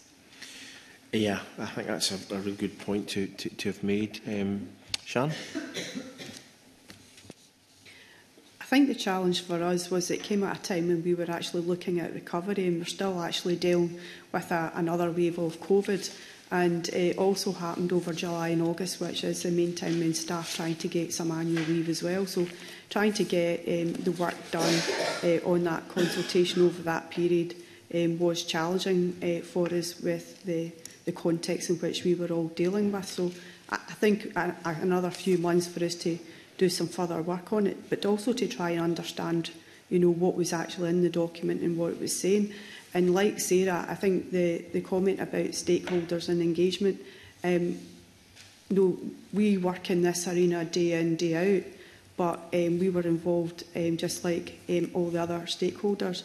And actually we feel would have been better if there were actually more detailed involvement and, and a better understanding of what it is we do and a better understanding of the services involved and what the implications would be for this. And actually a more detailed engagement with us would actually be more helpful um, as part of this process. But as Sarah said, we are treated just like everybody else. And on one level, I do understand that, but um, the implications for us are significant. And I think it would be more helpful to have a more detailed engagement with us as we go through this process. But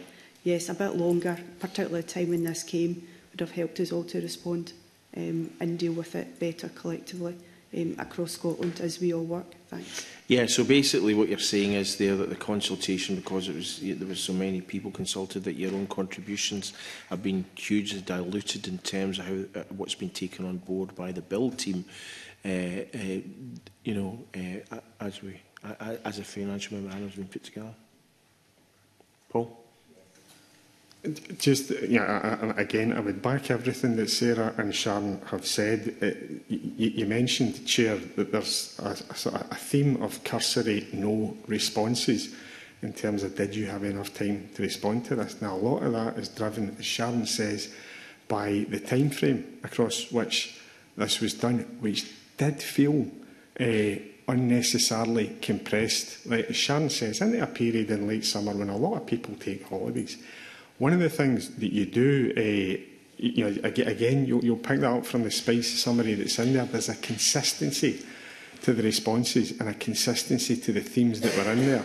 So the bodies who responded, I don't think had enough time, drew on views that were there, but which have already been expressed to the Scottish Government for a, for a period of time, right, across which... Uh, you know, for, for a period of time across which dialogue around this has happened.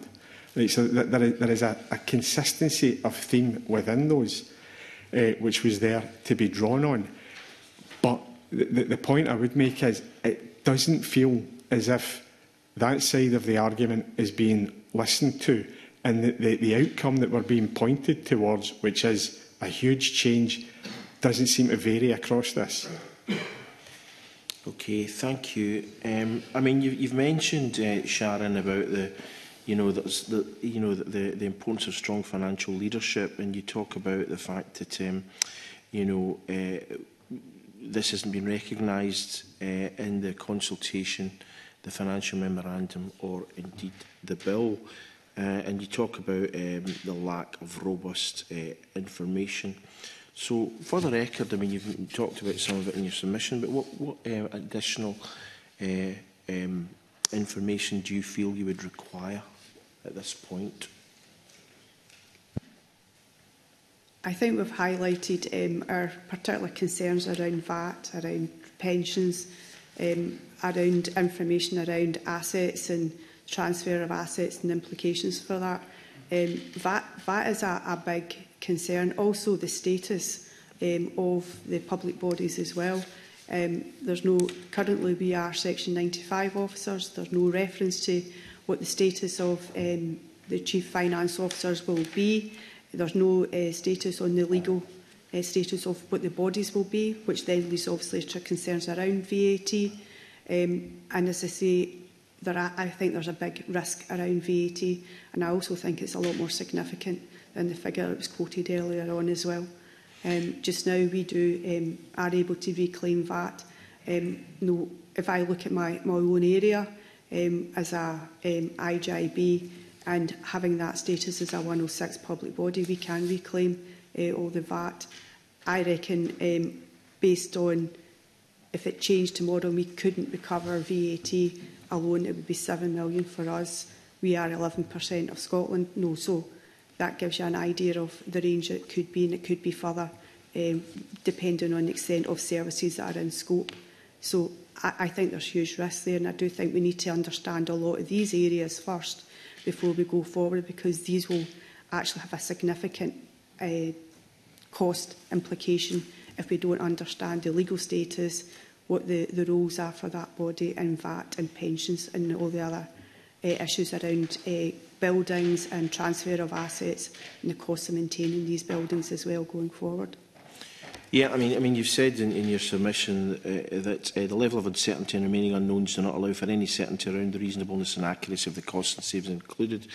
Uh, and you go on to say that the use of large ranges and costing do demonstrate the uncertainty within the financial memorandum. So just wondering, uh, I put this question obviously to, to the bill team when you were there. Uh, do you feel that the that the financial memorandum, financial memorandum has met its, the, the best estimates criteria. In relation to um, the cost of the bill, um, as it's laid out, um, the figures and the ranges there do look as if they cover the cost, albeit inflation has significantly moved. However, there are gaps and they recognise in the financial memorandum that there are gaps. And it's the gaps actually that we are concerned about because those gaps we think will bring significant costs which will add uh, to um, the implications here. Also, the one area I am a bit concerned about though is the range for um, new demand for services. That um, is growing significantly. We have seen increases around um, demographics grow, um, particularly um, post-COVID.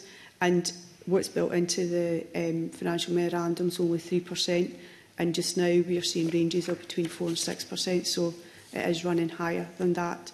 And we know that we have got an ageing population, and I think the challenges for future years are only going to see that grow. So that area is possibly an area that's on the light side. Okay, and, and Paul, you've basically said that uh, well, the financial memorandum acknowledges that follow what is required, this should be undertaken prior to the publication of the bill to support adequate scrutiny. Okay, uh, yeah, coming back to uh, the, the question that's there, there at the back of that, uh, uh, in terms of what's in the financial memorandum, right, and, and whether it, it represents information that, that Parliament Funnily enough, that was to be my next question, actually. Funnily enough, I mean, my next question was going to be, so you may as well ask it just now, is what should be in uh, uh, uh and what shouldn't be in the FM? Is there something, uh, anything in there that shouldn't be in it? And what additional content should there be? So you may as well ask that. Okay, right. So, so uh, again, a, a number of points around that. In, in terms of what is in there, right, there, there is a representation of what's spent currently, right, which is, which is drawn in, but it's based in 2019-20. As Sharon says, it's then uplifted uh, for demographic pressures by a level of 3%, which is an assumption of itself. And there's a, an estimate of inflation, right, which sadly, right, will be by now dated, right, moving forward across a period of years. What I, I would need to, right, as a, as a local authority director of finance, weigh that up against is we've got a, a spending review that's based on flat cash settlements for local authorities without demography uplifts or inflation.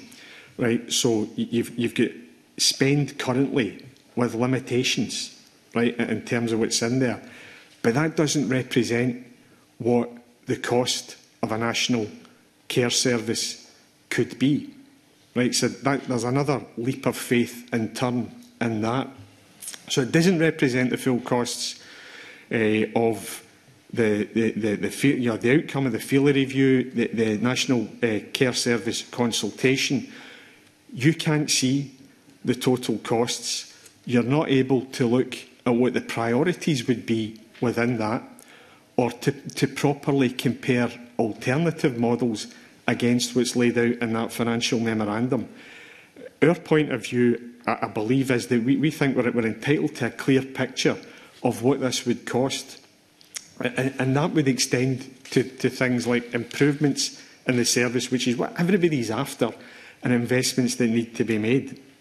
So, you know, acknowledging the financial memorandum does set aside uh, a number of improvements around health and social care, which are aspect, other, you know, other aspects of government policy not directly related to this bill, but they probably are uh, requisites for success of a national care service. So that, that's in, in terms of the, the comments that were made in, in the, the Solus submission and in other submissions around you know, the, the misgivings, right, I'll use that word again, around what's in the financial memorandum. It's founded on that. And, and again, that there is, there is a, a piece of this for me which is about what is this going to cost in total? And you know, we, we talked earlier on about a, a figure that's referenced within the, the, the spending review of £840 million, and an explanation was given of that. But if we weigh up these things and weigh up the costs of structural cost, and compare that to 840 million, pounds, is there actually money in here to fund improvement? And, and that's something that, is genuinely concerning, I think, for everybody within the local government community. And, and again, I, I appreciate that there are, there are pieces that need to be kept out of the financial memorandum, but there's also, I think it's just paragraphs uh, 16 onwards, there is a, a summary of, of economic benefits. But I think it's reasonable to assume that all of the system changes that are in the, the orbit of, of health and social care at the moment are referenced in the benefits that would accrue from that improved system. So just a, a number of, of, I believe, shortcomings right, in the financial memorandum, a number of leaps of faith, but they take us to a position where we are acknowledging there's a risk in making a massive change.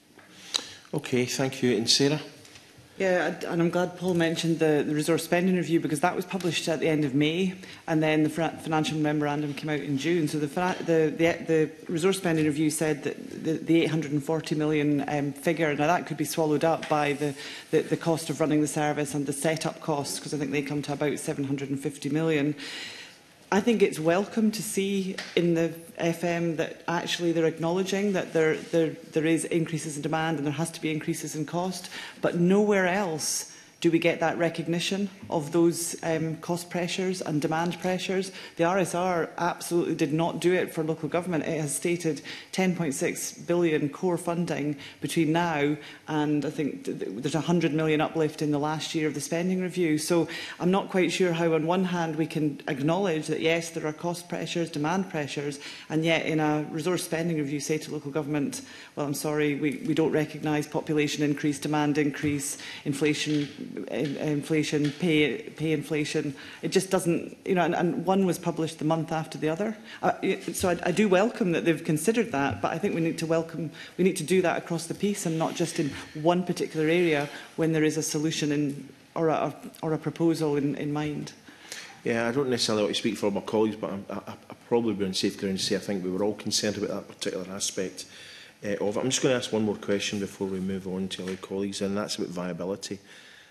I kind of asked that of the bill team, and I don't think that they gave a particularly comprehensive response. But um, eh, Paul, you mentioned that the last time you were at committee. What, what's, what's, um, we'll kick off with you first. What's your view in terms of the impact on viability, particularly for small, smaller local authorities, but also the kind of economies of scale that you would have within other local authorities, such as South Lancashire? No, uh, uh, listen, you're absolutely right. I did mention this the last time I was here, and the, the in the back of this that there would be you know, again, I make an assumption about how this is going to work, right? I'm, assuming there's going to be, as is referenced in the, documents you've all got today, a, a transfer of, of 75,000 people to a national care service.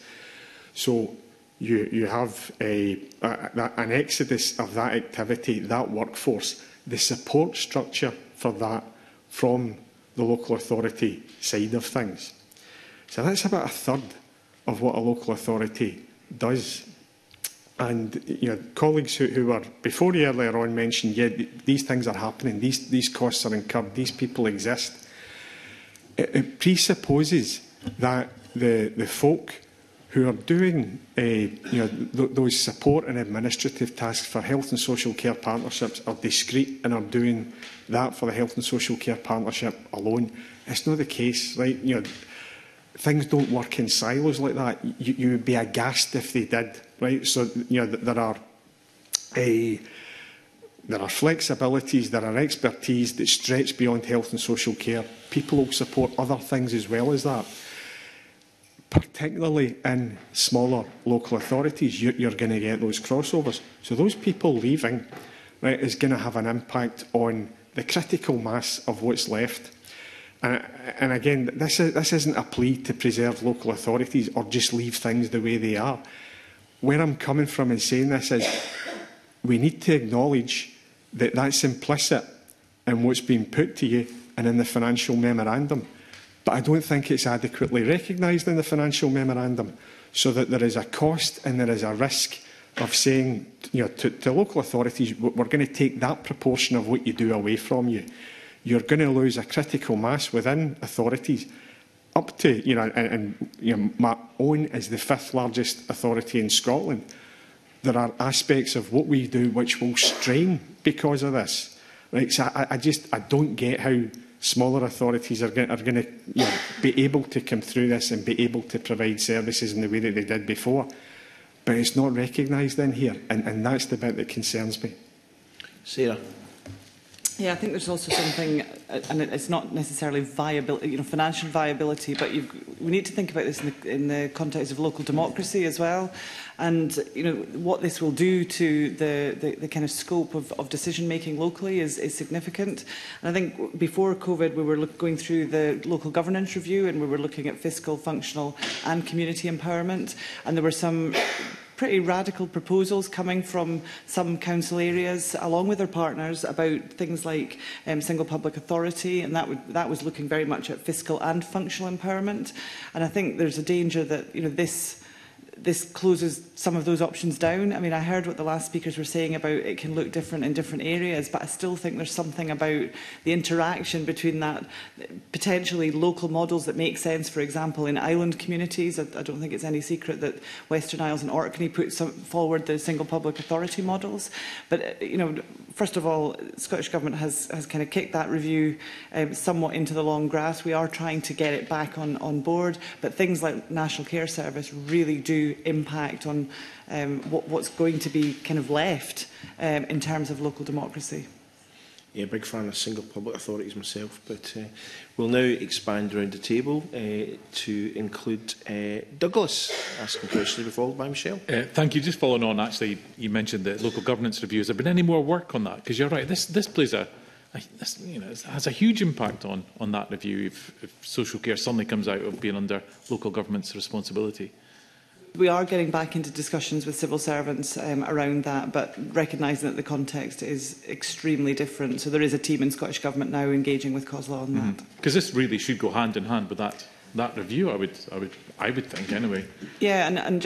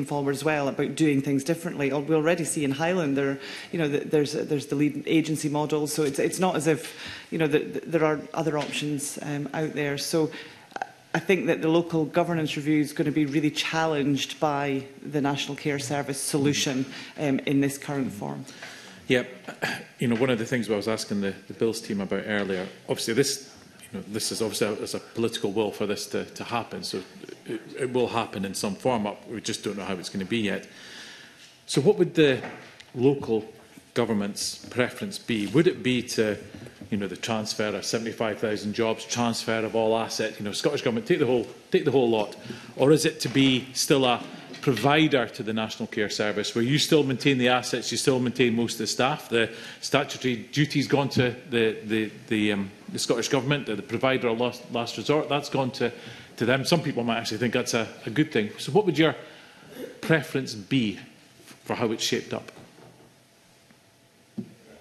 I can answer that uh, to start off with, Mr Lumsden. The, uh, you, in, in, terms of preference, right, and there's an element of this that I'm giving you is personal preference, yeah. right? The, there, there are structures there, right? There is a structure there with health and social care partnerships, which Sharon mentioned earlier on, have, have other powers that could be taken, right? Within the, the legislation that, is exi that exists, that envelope could be pushed. That's a structure that's maturing, right, and developing, right, and has had a period of time to embed. But it's not that long, right, since that change was made. And in the midst of that, we had a pandemic, right, which these organisations were absolutely at the fulcrum of. Does it need a reinvention of that system in order to deliver improvement is where I would come from. There, was reference made earlier on, right, to, to a, a desire to improve uh, consistency, but to improve quality as well. That, that, that, that's paramount in this. Could the role of a national care service right, be to, to, to sit within the existing structure with a remit of, of looking at quality and consistency and delivering on that, as opposed to, you know, going back to the point you made a second ago, just you know, the, the, consolidation of 75,000 people into, into something new that needs to be set up, administered, run, and a system that needs to be changed right over the short to medium term. And is that, is, is that the best way to progress at this point in time? So if, the, if there was an alternative, personally, that would be my own alternative. Mm-hmm. So you would potentially still have the, the boards that the government seem intent on doing. You still have the boards, and then there would be what commissioning services from the maybe the, the IJBs or from other places, and still setting the quality and consistency that you talk about as well. I, I think in, in terms of the, the picture that I, I was trying to present, right, if, if there was a, a national care service within this, I, you know, I, probably wouldn't be advocating a change away from the existing system of health and social care partnerships, but if there was a, a new eh, body inserted in there with a mandate of, of looking at you know, quality and consistency in, your, in tandem with other agencies and uh, regulators that are there at present, right, specifically to look at that within the, the existing structure, right, is that a way ahead? Mm -hmm. And the statutory duty would still remain within local authorities then? Yeah, in, in, ter in terms of a preference, right, and, and the preference that I, I, was, I was looking to express was that, right, you, know, th you, you could exist with the structure as it stands, pushing, pushing out potentially uh, the, the boundaries for health and social care partnerships, take, taking them to their limit, right? If, if, if that's what's wanted, if that's what's required, if that's what's asked for at a local and a national level, but is there space for something else, right, that could ensure quality and where appropriate consistency? Because there has to be, and there is within the current system, room for local decision making and, and room to make decisions that suit local circumstances. And that's a strength. Mm -hmm. Sharon, have you got any views on that? One of the, the key things I think that works really well is the strategic and operational uh, when when those sit together and what works really well for health and social care partnerships is having that strategic and operational responsibility. It works really well, works really well on the ground. There is local arrangements because we don't all have consistent services in just now. And I think if we did all have consistent services, that would definitely be an improvement. And I think going forward, um, as I said earlier on, I think we looked for a hybrid model. I think a lot of the work that's getting done in IGIBs are, are, are really good, but we can make improvements. But I think, as Paul says, that overarching bit uh, essentially to help drive forward quality and consistency would definitely help.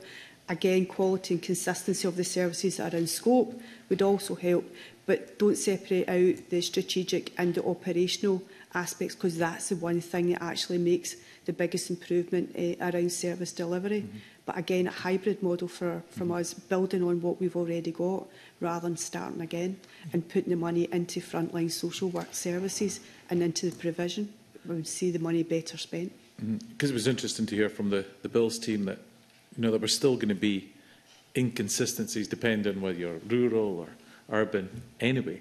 So it, it wasn't going to be uniform right across mm-hmm. Scotland anyway. So for my thinking, it's maybe changing from – 32 different um, setups to maybe five or six. I, I don't know how many boards there's, there's going to be. So yeah. um, we'll see going forward. That's all I've got just now, Camille. Okay, thank you very much. Uh, Michelle, to follow by John. Uh, good morning. Uh, I read all your submissions with great interest and I share your concerns about some of the areas that have already been touched on around VAT, pensions, assets, governance and so on. And I added in the last panel in some of, of my own. However, uh, just in the interest of uh, giving every panel an equally hard time, I just want to ask some questions and point out that any change that's made that's either perceived to or removes responsibilities is always resisted by the affected body. So my question to you all is, to what extent are you A, simply resistant to change and B, protecting your own turf, if you like?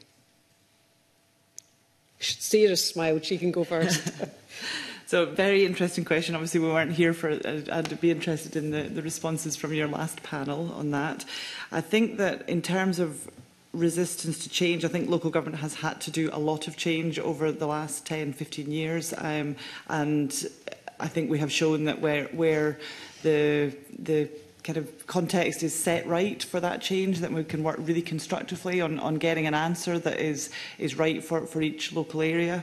Um, I think through things like the statement of the joint statement of intent, I think we showed that actually we know there are areas where we want to see um, change and improvement. So I, I don't think there's resistance. I think it's, I think we would want to see it carefully, incrementally, eh, and in a considered way. But I mean, there are areas like, for example, workforce planning, where we absolutely want to see a change. It is an impossible task for each each health and social care partnership to, to grapple with that on an individual level. So there would be no resistance to change in some of those areas that Paul was talking about, workforce planning, training, um, you know, terms and conditions, fair work agenda, ethical procurement. These are types of things that absolutely wouldn't, I don't think you would find any resistance to those things, certainly within local government. But I think it's that, that, that whole-scale structural um, change that... It, I think it, we need we need the detail, um, and that's that's probably the, a lot of the resistance comes from the the, the detail or lack of detail, sorry, uh, in the FM. Yeah. Just building on that before Paul and uh, Sharon come in, we talked earlier about economies of scale, and I think it was yourself that mentioned that, Paul, in terms of the loss of economies of scale for uh, local government. However, there is a corollary to that, which is a benefit of economies of scale to the Scottish government. And I'm asking about this because as we all the way through this session and on a continual basis we're all commenting about you know public sector funding we're in a precarious uh, position so what specific economies of scale can you see with at least some of the proposals for the Scottish Government and therefore for the public purse, given that it strikes me, and I've put this on record before, that uh, for us to have 32 local authorities with duplicate functions right across the board isn't necessarily the most efficient way. So I'm interested in your thoughts about where the economies of scale are for the Scottish Government rather than the disbenefit of economies for scale to yourselves. Okay, well, I'll, I'll come back in on that first. I, I, I suppose if I point back to the financial memorandum, th there's a significant cost in there in, mm -hmm. in terms of local and national boards and, and the extent of the costs does leave me wondering where are the economies? It doesn't mention economies of scale no. in the financial memorandum. So, so, so that, that's, that's the, the perspective that, that I've, I've got on it. That, that there is a figure in there, I think, as well, of 25 to 40 million pounds, right, which is assumed as being the costs currently, right, of, of supporting and running these services. But there isn't any background to where that comes from. So from the perspective of the financial memorandum, that, that I believe is one of the, the, the shortcomings in it, right, is how it identifies if there would be savings in moving from a, a series of health and social care partnerships to a system of a, of a national organisation and local boards, regardless of how many of those, those there are. So that is an issue I've got with this. And, Sharon, do you want to come in and either those two questions and then one yes, more? Yes. Um, no, we have been very much at the forefront of this change, so we are not resistant to change, and we actually are keen to see um, the health and social care partnerships develop further. So that's not our issue in relation to this. I think from where we're sitting, um, if you look at economies of scale, the one way to do it, the obvious one which um, isn't um, pulled out, is the fact you would reduce from 32 to a smaller number um, and it doesn't commit to what that number would be. Um, so that's the, the obvious way to bring that economies of scale and, and make savings.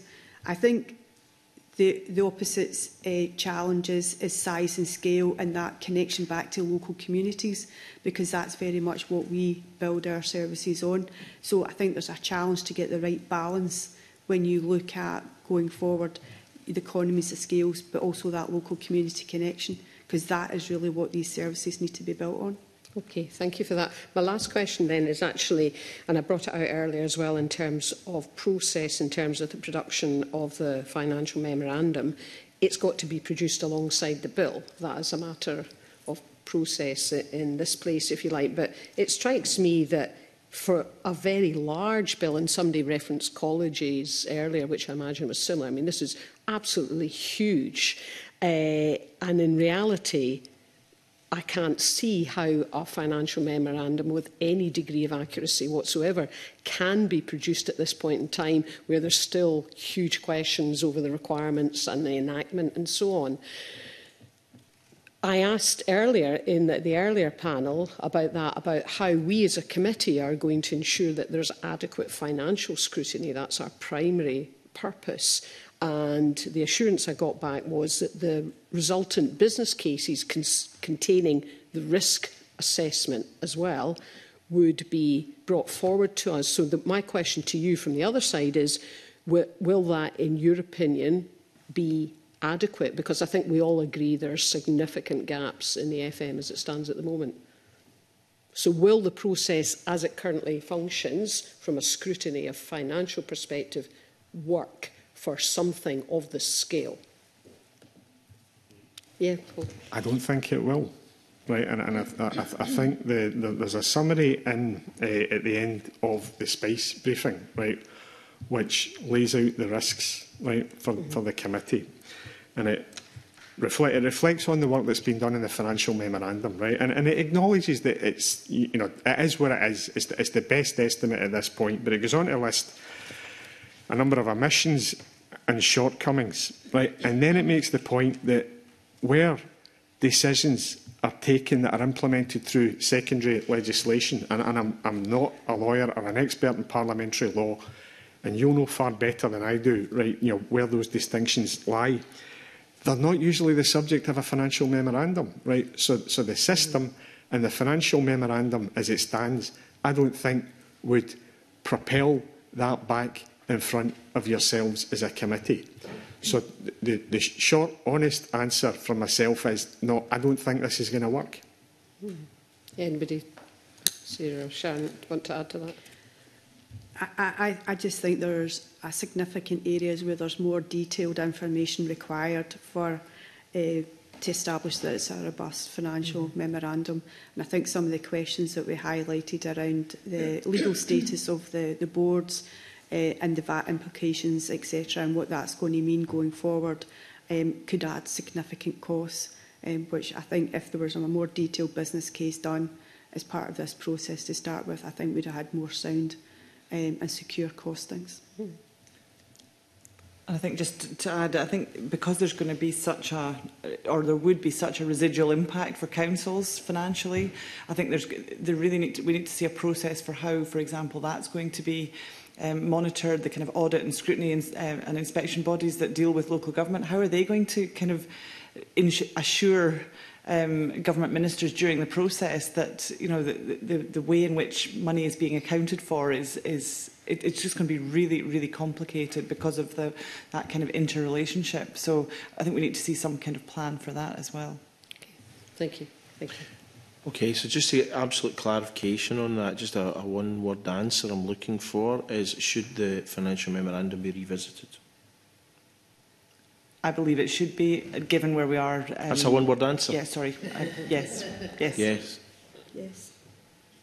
Okay, thank you. Uh, John, to be followed by Liz. Uh, thanks very much, convener. Um, I mean, the, word, the words best value have been mentioned, and, um, you know, we appear to have 500 million to 1,000 million over the next five years just going into the structure of this new organisation. So, I mean, if we have that kind of money sitting around, are, are you, is your argument that it is not best value to set up a new structure? Would be better using that money to increase wages or to improve the actual system? Ms Waters. Yes, I think, I mean, capacity is a huge issue for social care. Um, we, I think we absolutely know that because of demand, because of winter pressures, because of residual COVID impacts, complexity of demand.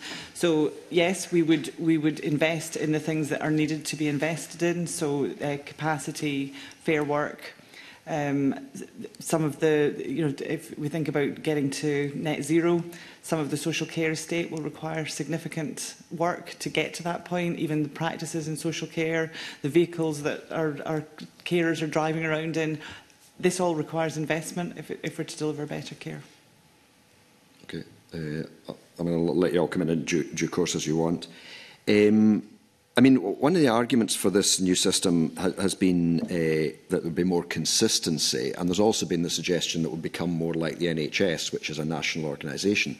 But, I mean, it does strike me that the NHS can be quite inconsistent at times. All, all the health boards do things differently. Every GP practice seems to do things differently. Every optician, every dentist, because they're all private. So, I mean, there is quite a mixture in the NHS. I mean, do you think it's, even if we go to a national care service, Is it going to be more consistent than we presently have, or is it just going to be a different kind of inconsistency?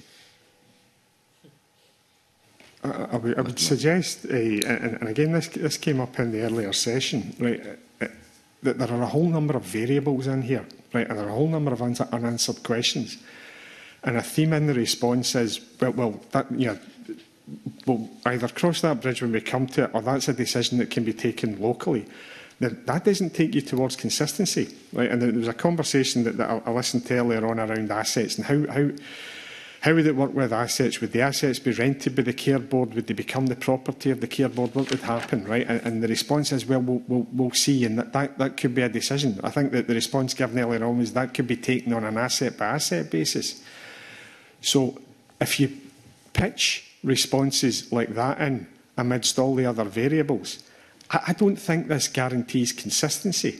Right? I, I, I do think, and I'll go back to what I said earlier, I think it's well-intentioned, but I don't think it gives you any kind of certainty that you're going to get to something that's delivering uh, consistent care services across Scotland. Okay, well, I was going to come on to assets and things like that, so let's explore that a wee bit further. Um, I mean, can you give us a kind of idea uh, and Ms Waring or anyone, um, you know, if we take, say, care homes, for example, or other care assets, um, you know, uh, is there a variety? I mean, are they, are they mainly owned? Are they leased? Uh, uh is, there, is there PFI in there somewhere? How, does the borrowing, does borrowing relate to a particular care home or how does that work? Can you give, give us a bit more kind of background or detail? I think Ms Waring looks I'll like start, I'll in. start off in that one. Um, so you will find that some of the local authorities do have their own care home provision. Uh, I currently work in Glasgow. We have our own local authority residential care homes and it's uh, a new, newly built estate over the last 10-15 years that's been invested in.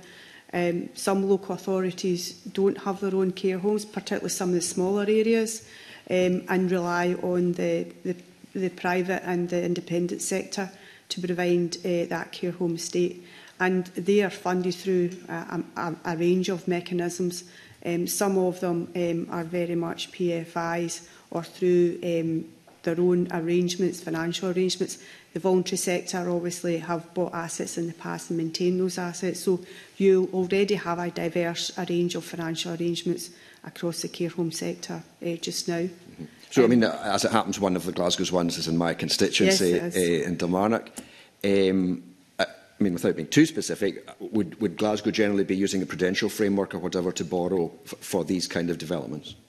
So um, there was prudential borrowing for uh, the care homes in Glasgow and, and a lot of the local authorities would use that arrangements so their own capital uh, towards it as well. So it was a mixture of funding went into those. But would some councils, if, if, if maybe the care home had been built a while ago, they'd have paid off the debt, so actually the, the asset would not have any debt linked to it?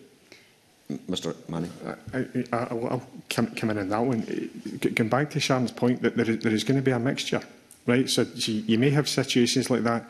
You're going to have, I would imagine, in the majority of cases with owned care home or care facility, right, stock, you, you are going to have a degree of debt attached to it. And, and what, again, the financial memorandum doesn't consider is how, how's this going to be dealt with? right, so is that, if, for example, if ownership was to be passed to a national care service, th there would need to be some form of arrangement behind that which supported uh, the transfer of the debt from the local authority to the national care service. But this doesn't get factored in. Right, so again, this is just one, one, of, the, one of a number of un uncertainties that lead to us having misgivings about what's mapped out uh, within this. And another aspect around assets is uh, what it's going to cost to maintain right, and to, to modernise, but because we're, we're faced with duties right, around you know, move to carbon reduction standards and move to net zero standards over the next 15 years. So those would be costs that would be picked up by a national care service in this scenario. Just now, those aren't in local authority budgets. And frankly, on our side of the table, we're, we're tearing our hair out, figuring out how we're going to get the money together in order to meet those costs. But, but that would be implicit in a move of those assets across to, to a national care service up to these boards as well. So this is really complicated, but it's treated very, very lightly in the financial memorandum. And is your understanding that it would be the local council would decide if they wanted to transfer a particular care home or other asset to the National Care Service, or would that be the decision of the National Care Service, or how would that be decided? Fr frankly, I don't know. Right, and, and that, that's one of, one of the, the things in this that's got an open-endedness about it. Right, and if if you if you had a if you had a situation where you know, a, a goal of consistency of standard across Scotland, right, is resting on a, an approach which is you know, re reliant on whether individual local authorities about individual assets are prepared to continue running them or not, or transfer them to a national care service. It's not a solid foundation to do this. Do we know how many care homes there are in Scotland?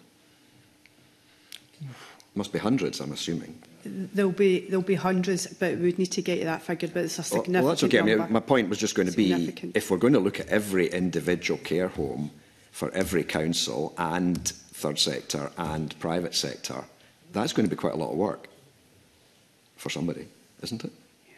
Yeah. okay.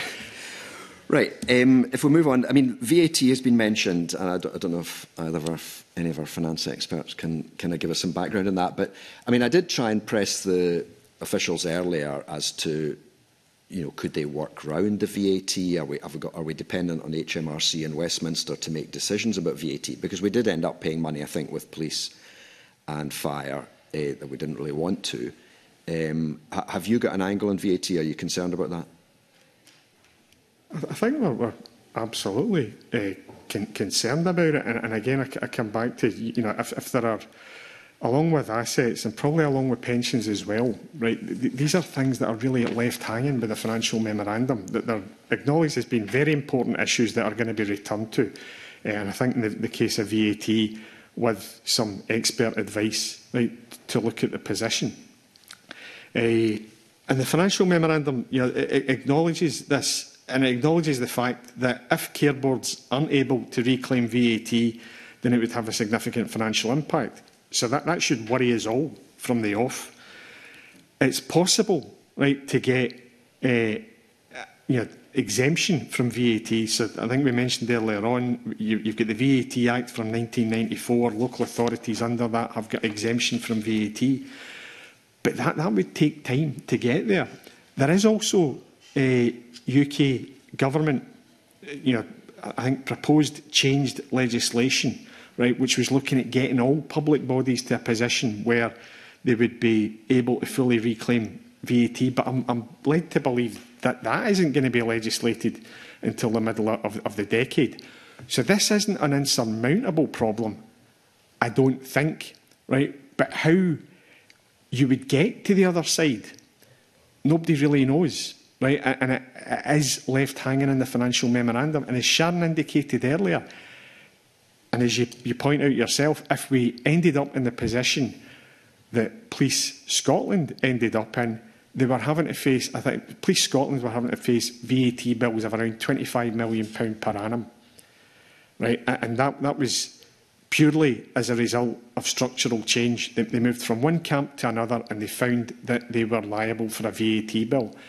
And unless that work's done, and we don't know how it's going to be done or by whom, that's the risk that we're really on the wrong end of just now.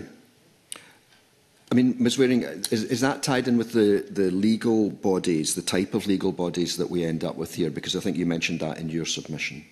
I think it is partly tied up with that, because um, just now we are uh, 106 public bodies, so we are tied to um, local authorities as IGIB, so we can reclaim uh, VAT. So that's part of the issue, but as Paul mentioned, there is other work underway nationally to look at um, VAT, but it's the timescales uh, around that. But we do think, no, if that can't be resolved, it could be a significant number.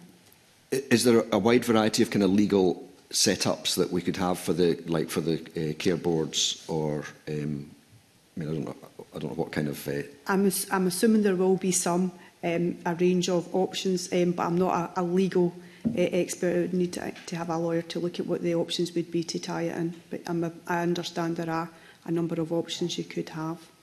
Okay, and the, the final area I wanted to touch on was like the staff. If the staff are transferring, there was a suggestion, I think it was in the SITFA paper, that some staff might not be able to transfer under TUPE.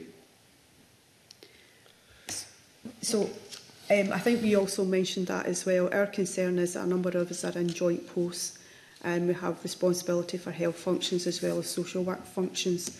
And uh, TUPE has a threshold in relation to how much of your role was transferring for you to be um, transferred under TUPI. And we think some of these posts won't reach that threshold, which is why we're asking the question uh, around that. Right, just to clarify that in my mind. So if somebody's currently got a role that's partly health and partly social care, it would depend how that role was split. Uh, so if that person moved into the new body, it might not be TUPI because only a part of their role is TUPI has a threshold where right, okay say 80% of that role has to be a transferable role for 2P apply. So the question for us would 2P apply to, to all these posts? And I think that work needs to be uh, looked at. Right, and presumably, I mean, the 32 councils will have slightly different terms and conditions for all of these staff, so there would be quite a lot of work to, if you're going to make them consistent. And then just the final point on pensions as well. Is there a concern, is, is that linked to the TUPE one, that they might not be able to stay in the local government pension scheme?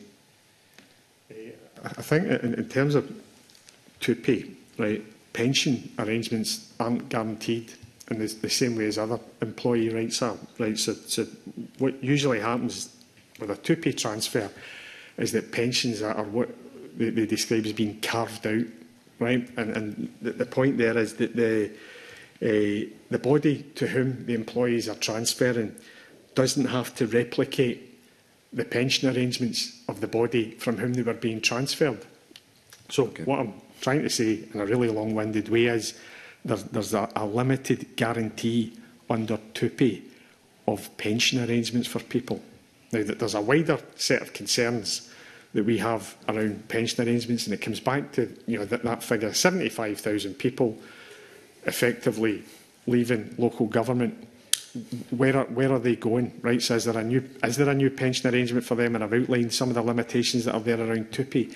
But if they if they were going to leave those pension schemes, what would be the impact on the pension bodies across Would it, would it not Scotland? be neutral for the pension scheme? Uh, I don't know, and, and that's that's the bit within the financial memorandum that that is left unconsidered. So what we haven't done right is an analysis of who would be leaving, what the liabilities would be, what the, the element representing them within the fund would be, and, and, what the potential impact would be. But you know, again, coming from the data that's there, that's a, a, a mass loss of people right, from those pension funds.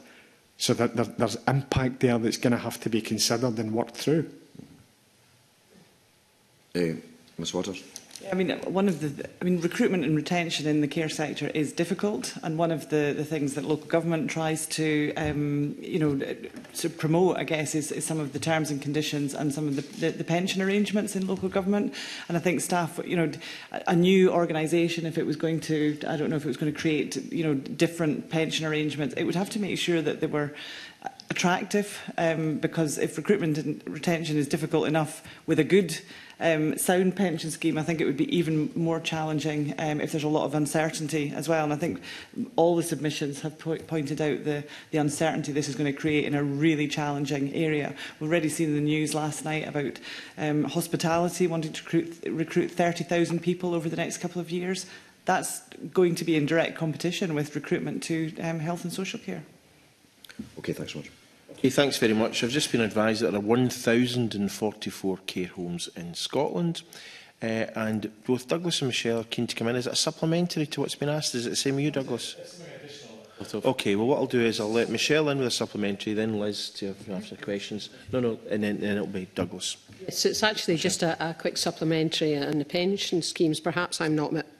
understanding correctly, but the existing pension schemes are defined benefit run defined contribution. Is that right?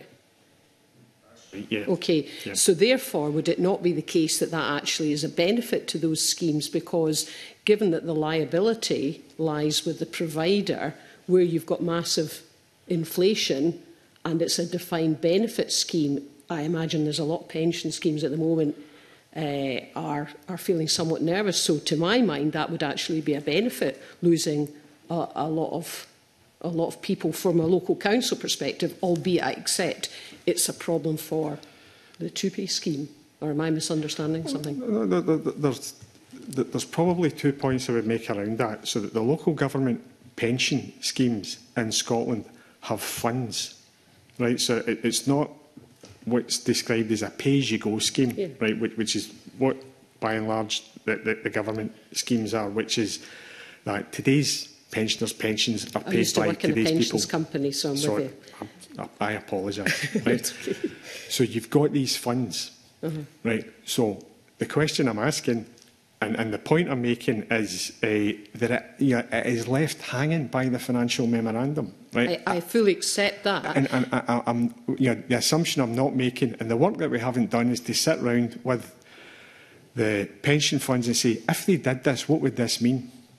Right? So So that is something that is still to happen, right? And that, that's the mm. point I'm making, as, a, as opposed to arguing for, for a benefit or a disbenefit. What it is going to have is an impact. Correct. I absolutely agree with you. And I suppose my point is that where it me, in terms of getting to the detail around the financial memorandum, the fact that these are defined benefits and the liability will lie with whoever takes them on would be a pretty big consideration to get costed up given that liability consideration and would be actually might be quite a benefit because it's a worry for every pension scheme that's got defined benefits but that's a minor thing.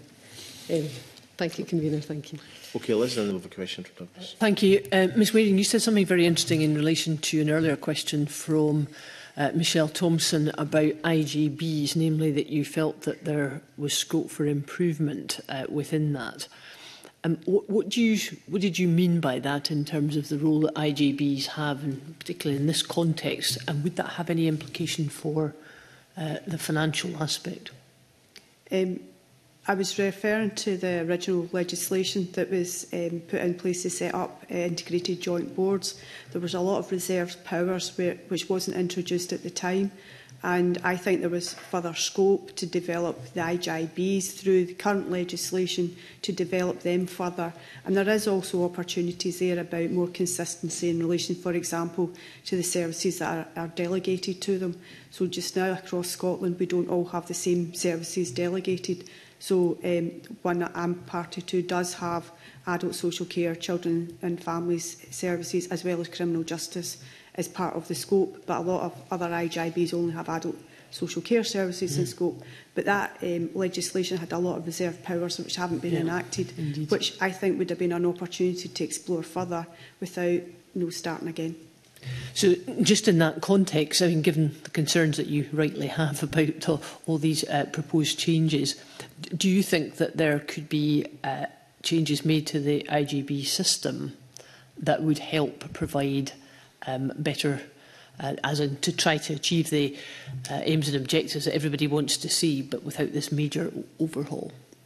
I think there are changes that could be made, and I'll give an example. Um, they talked earlier on about people wanting to, to move areas and move their packages of care with them. The the guidance that we have that covers arts ordinary residents, you know, there, there is scope to go and revise that guidance and actually make changes to that so that people can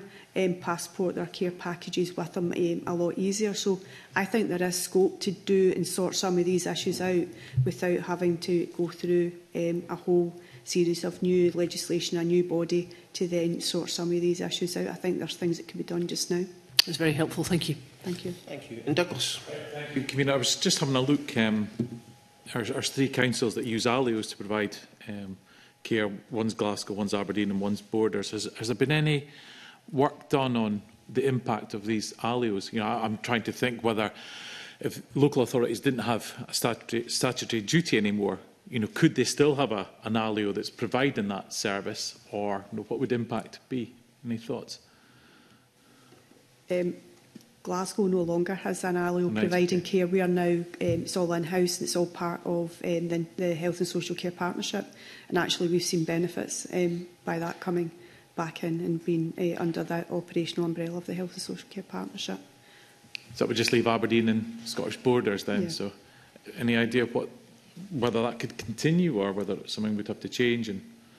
I think it was something that needs to be looked into. Um, again, it comes back to that question about um, it should providers sit out with or, and how much of that provision actually transfers into the care boards. Um, and I, I think it relates more to that decision rather than the setup of the alleles. Mm -hmm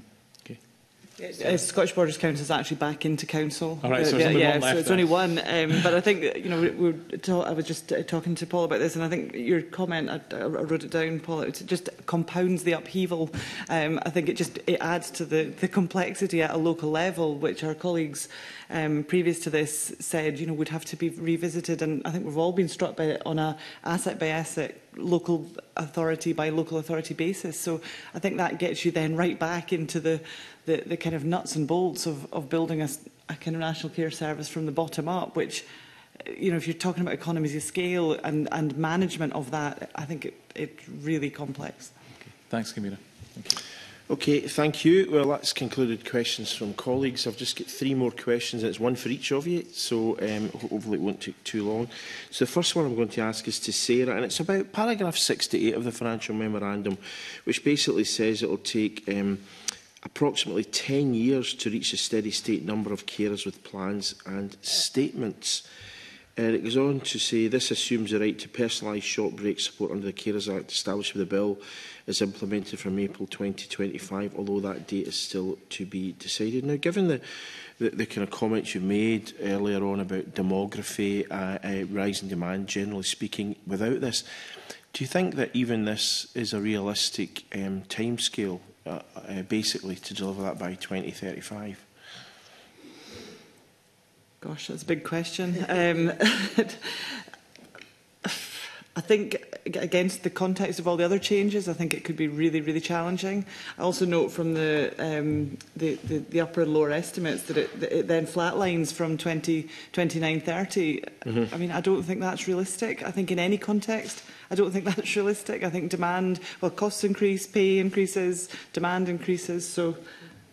I think it's just it's one part. There's so many moving parts in this um, that I think it's I think it could be really challenging. Okay. Uh, uh, the reason I asked we hadn't had any discussion on that or any questions on that previously, so I thought I, I wanted to touch on that. Um, for yourself, actually, um, Sharon, it's uh, this uh, issue in your own submission where you say that there's concern that the recommendations increase free personal and nursing care for self-funders will not necessarily deliver a, readout, a reduction to the amount paid by self-funders.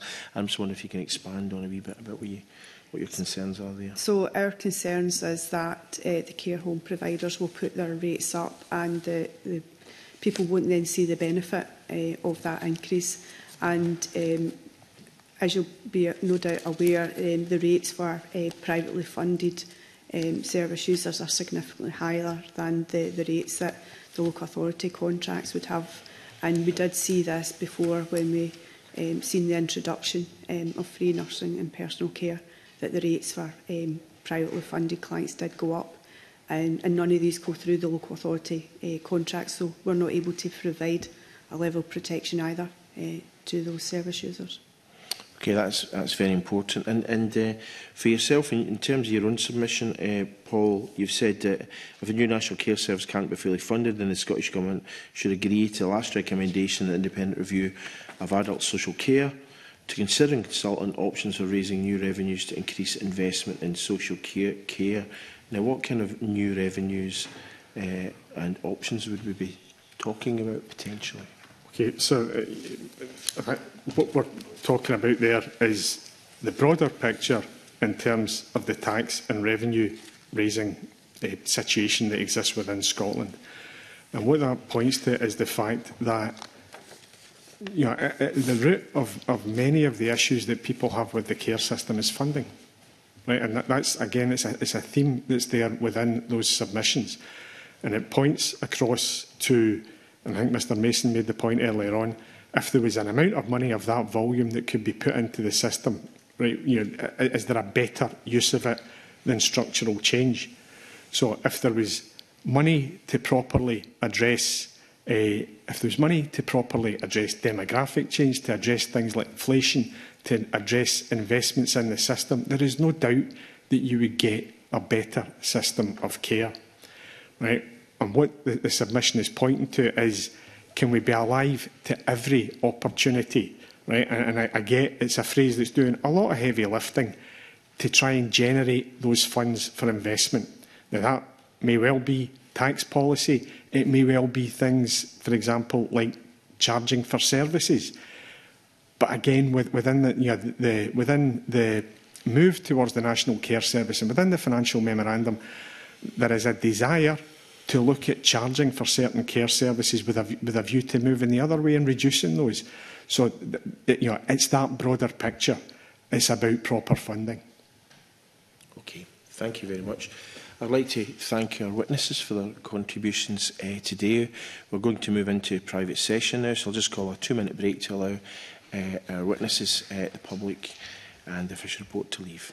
Thanks.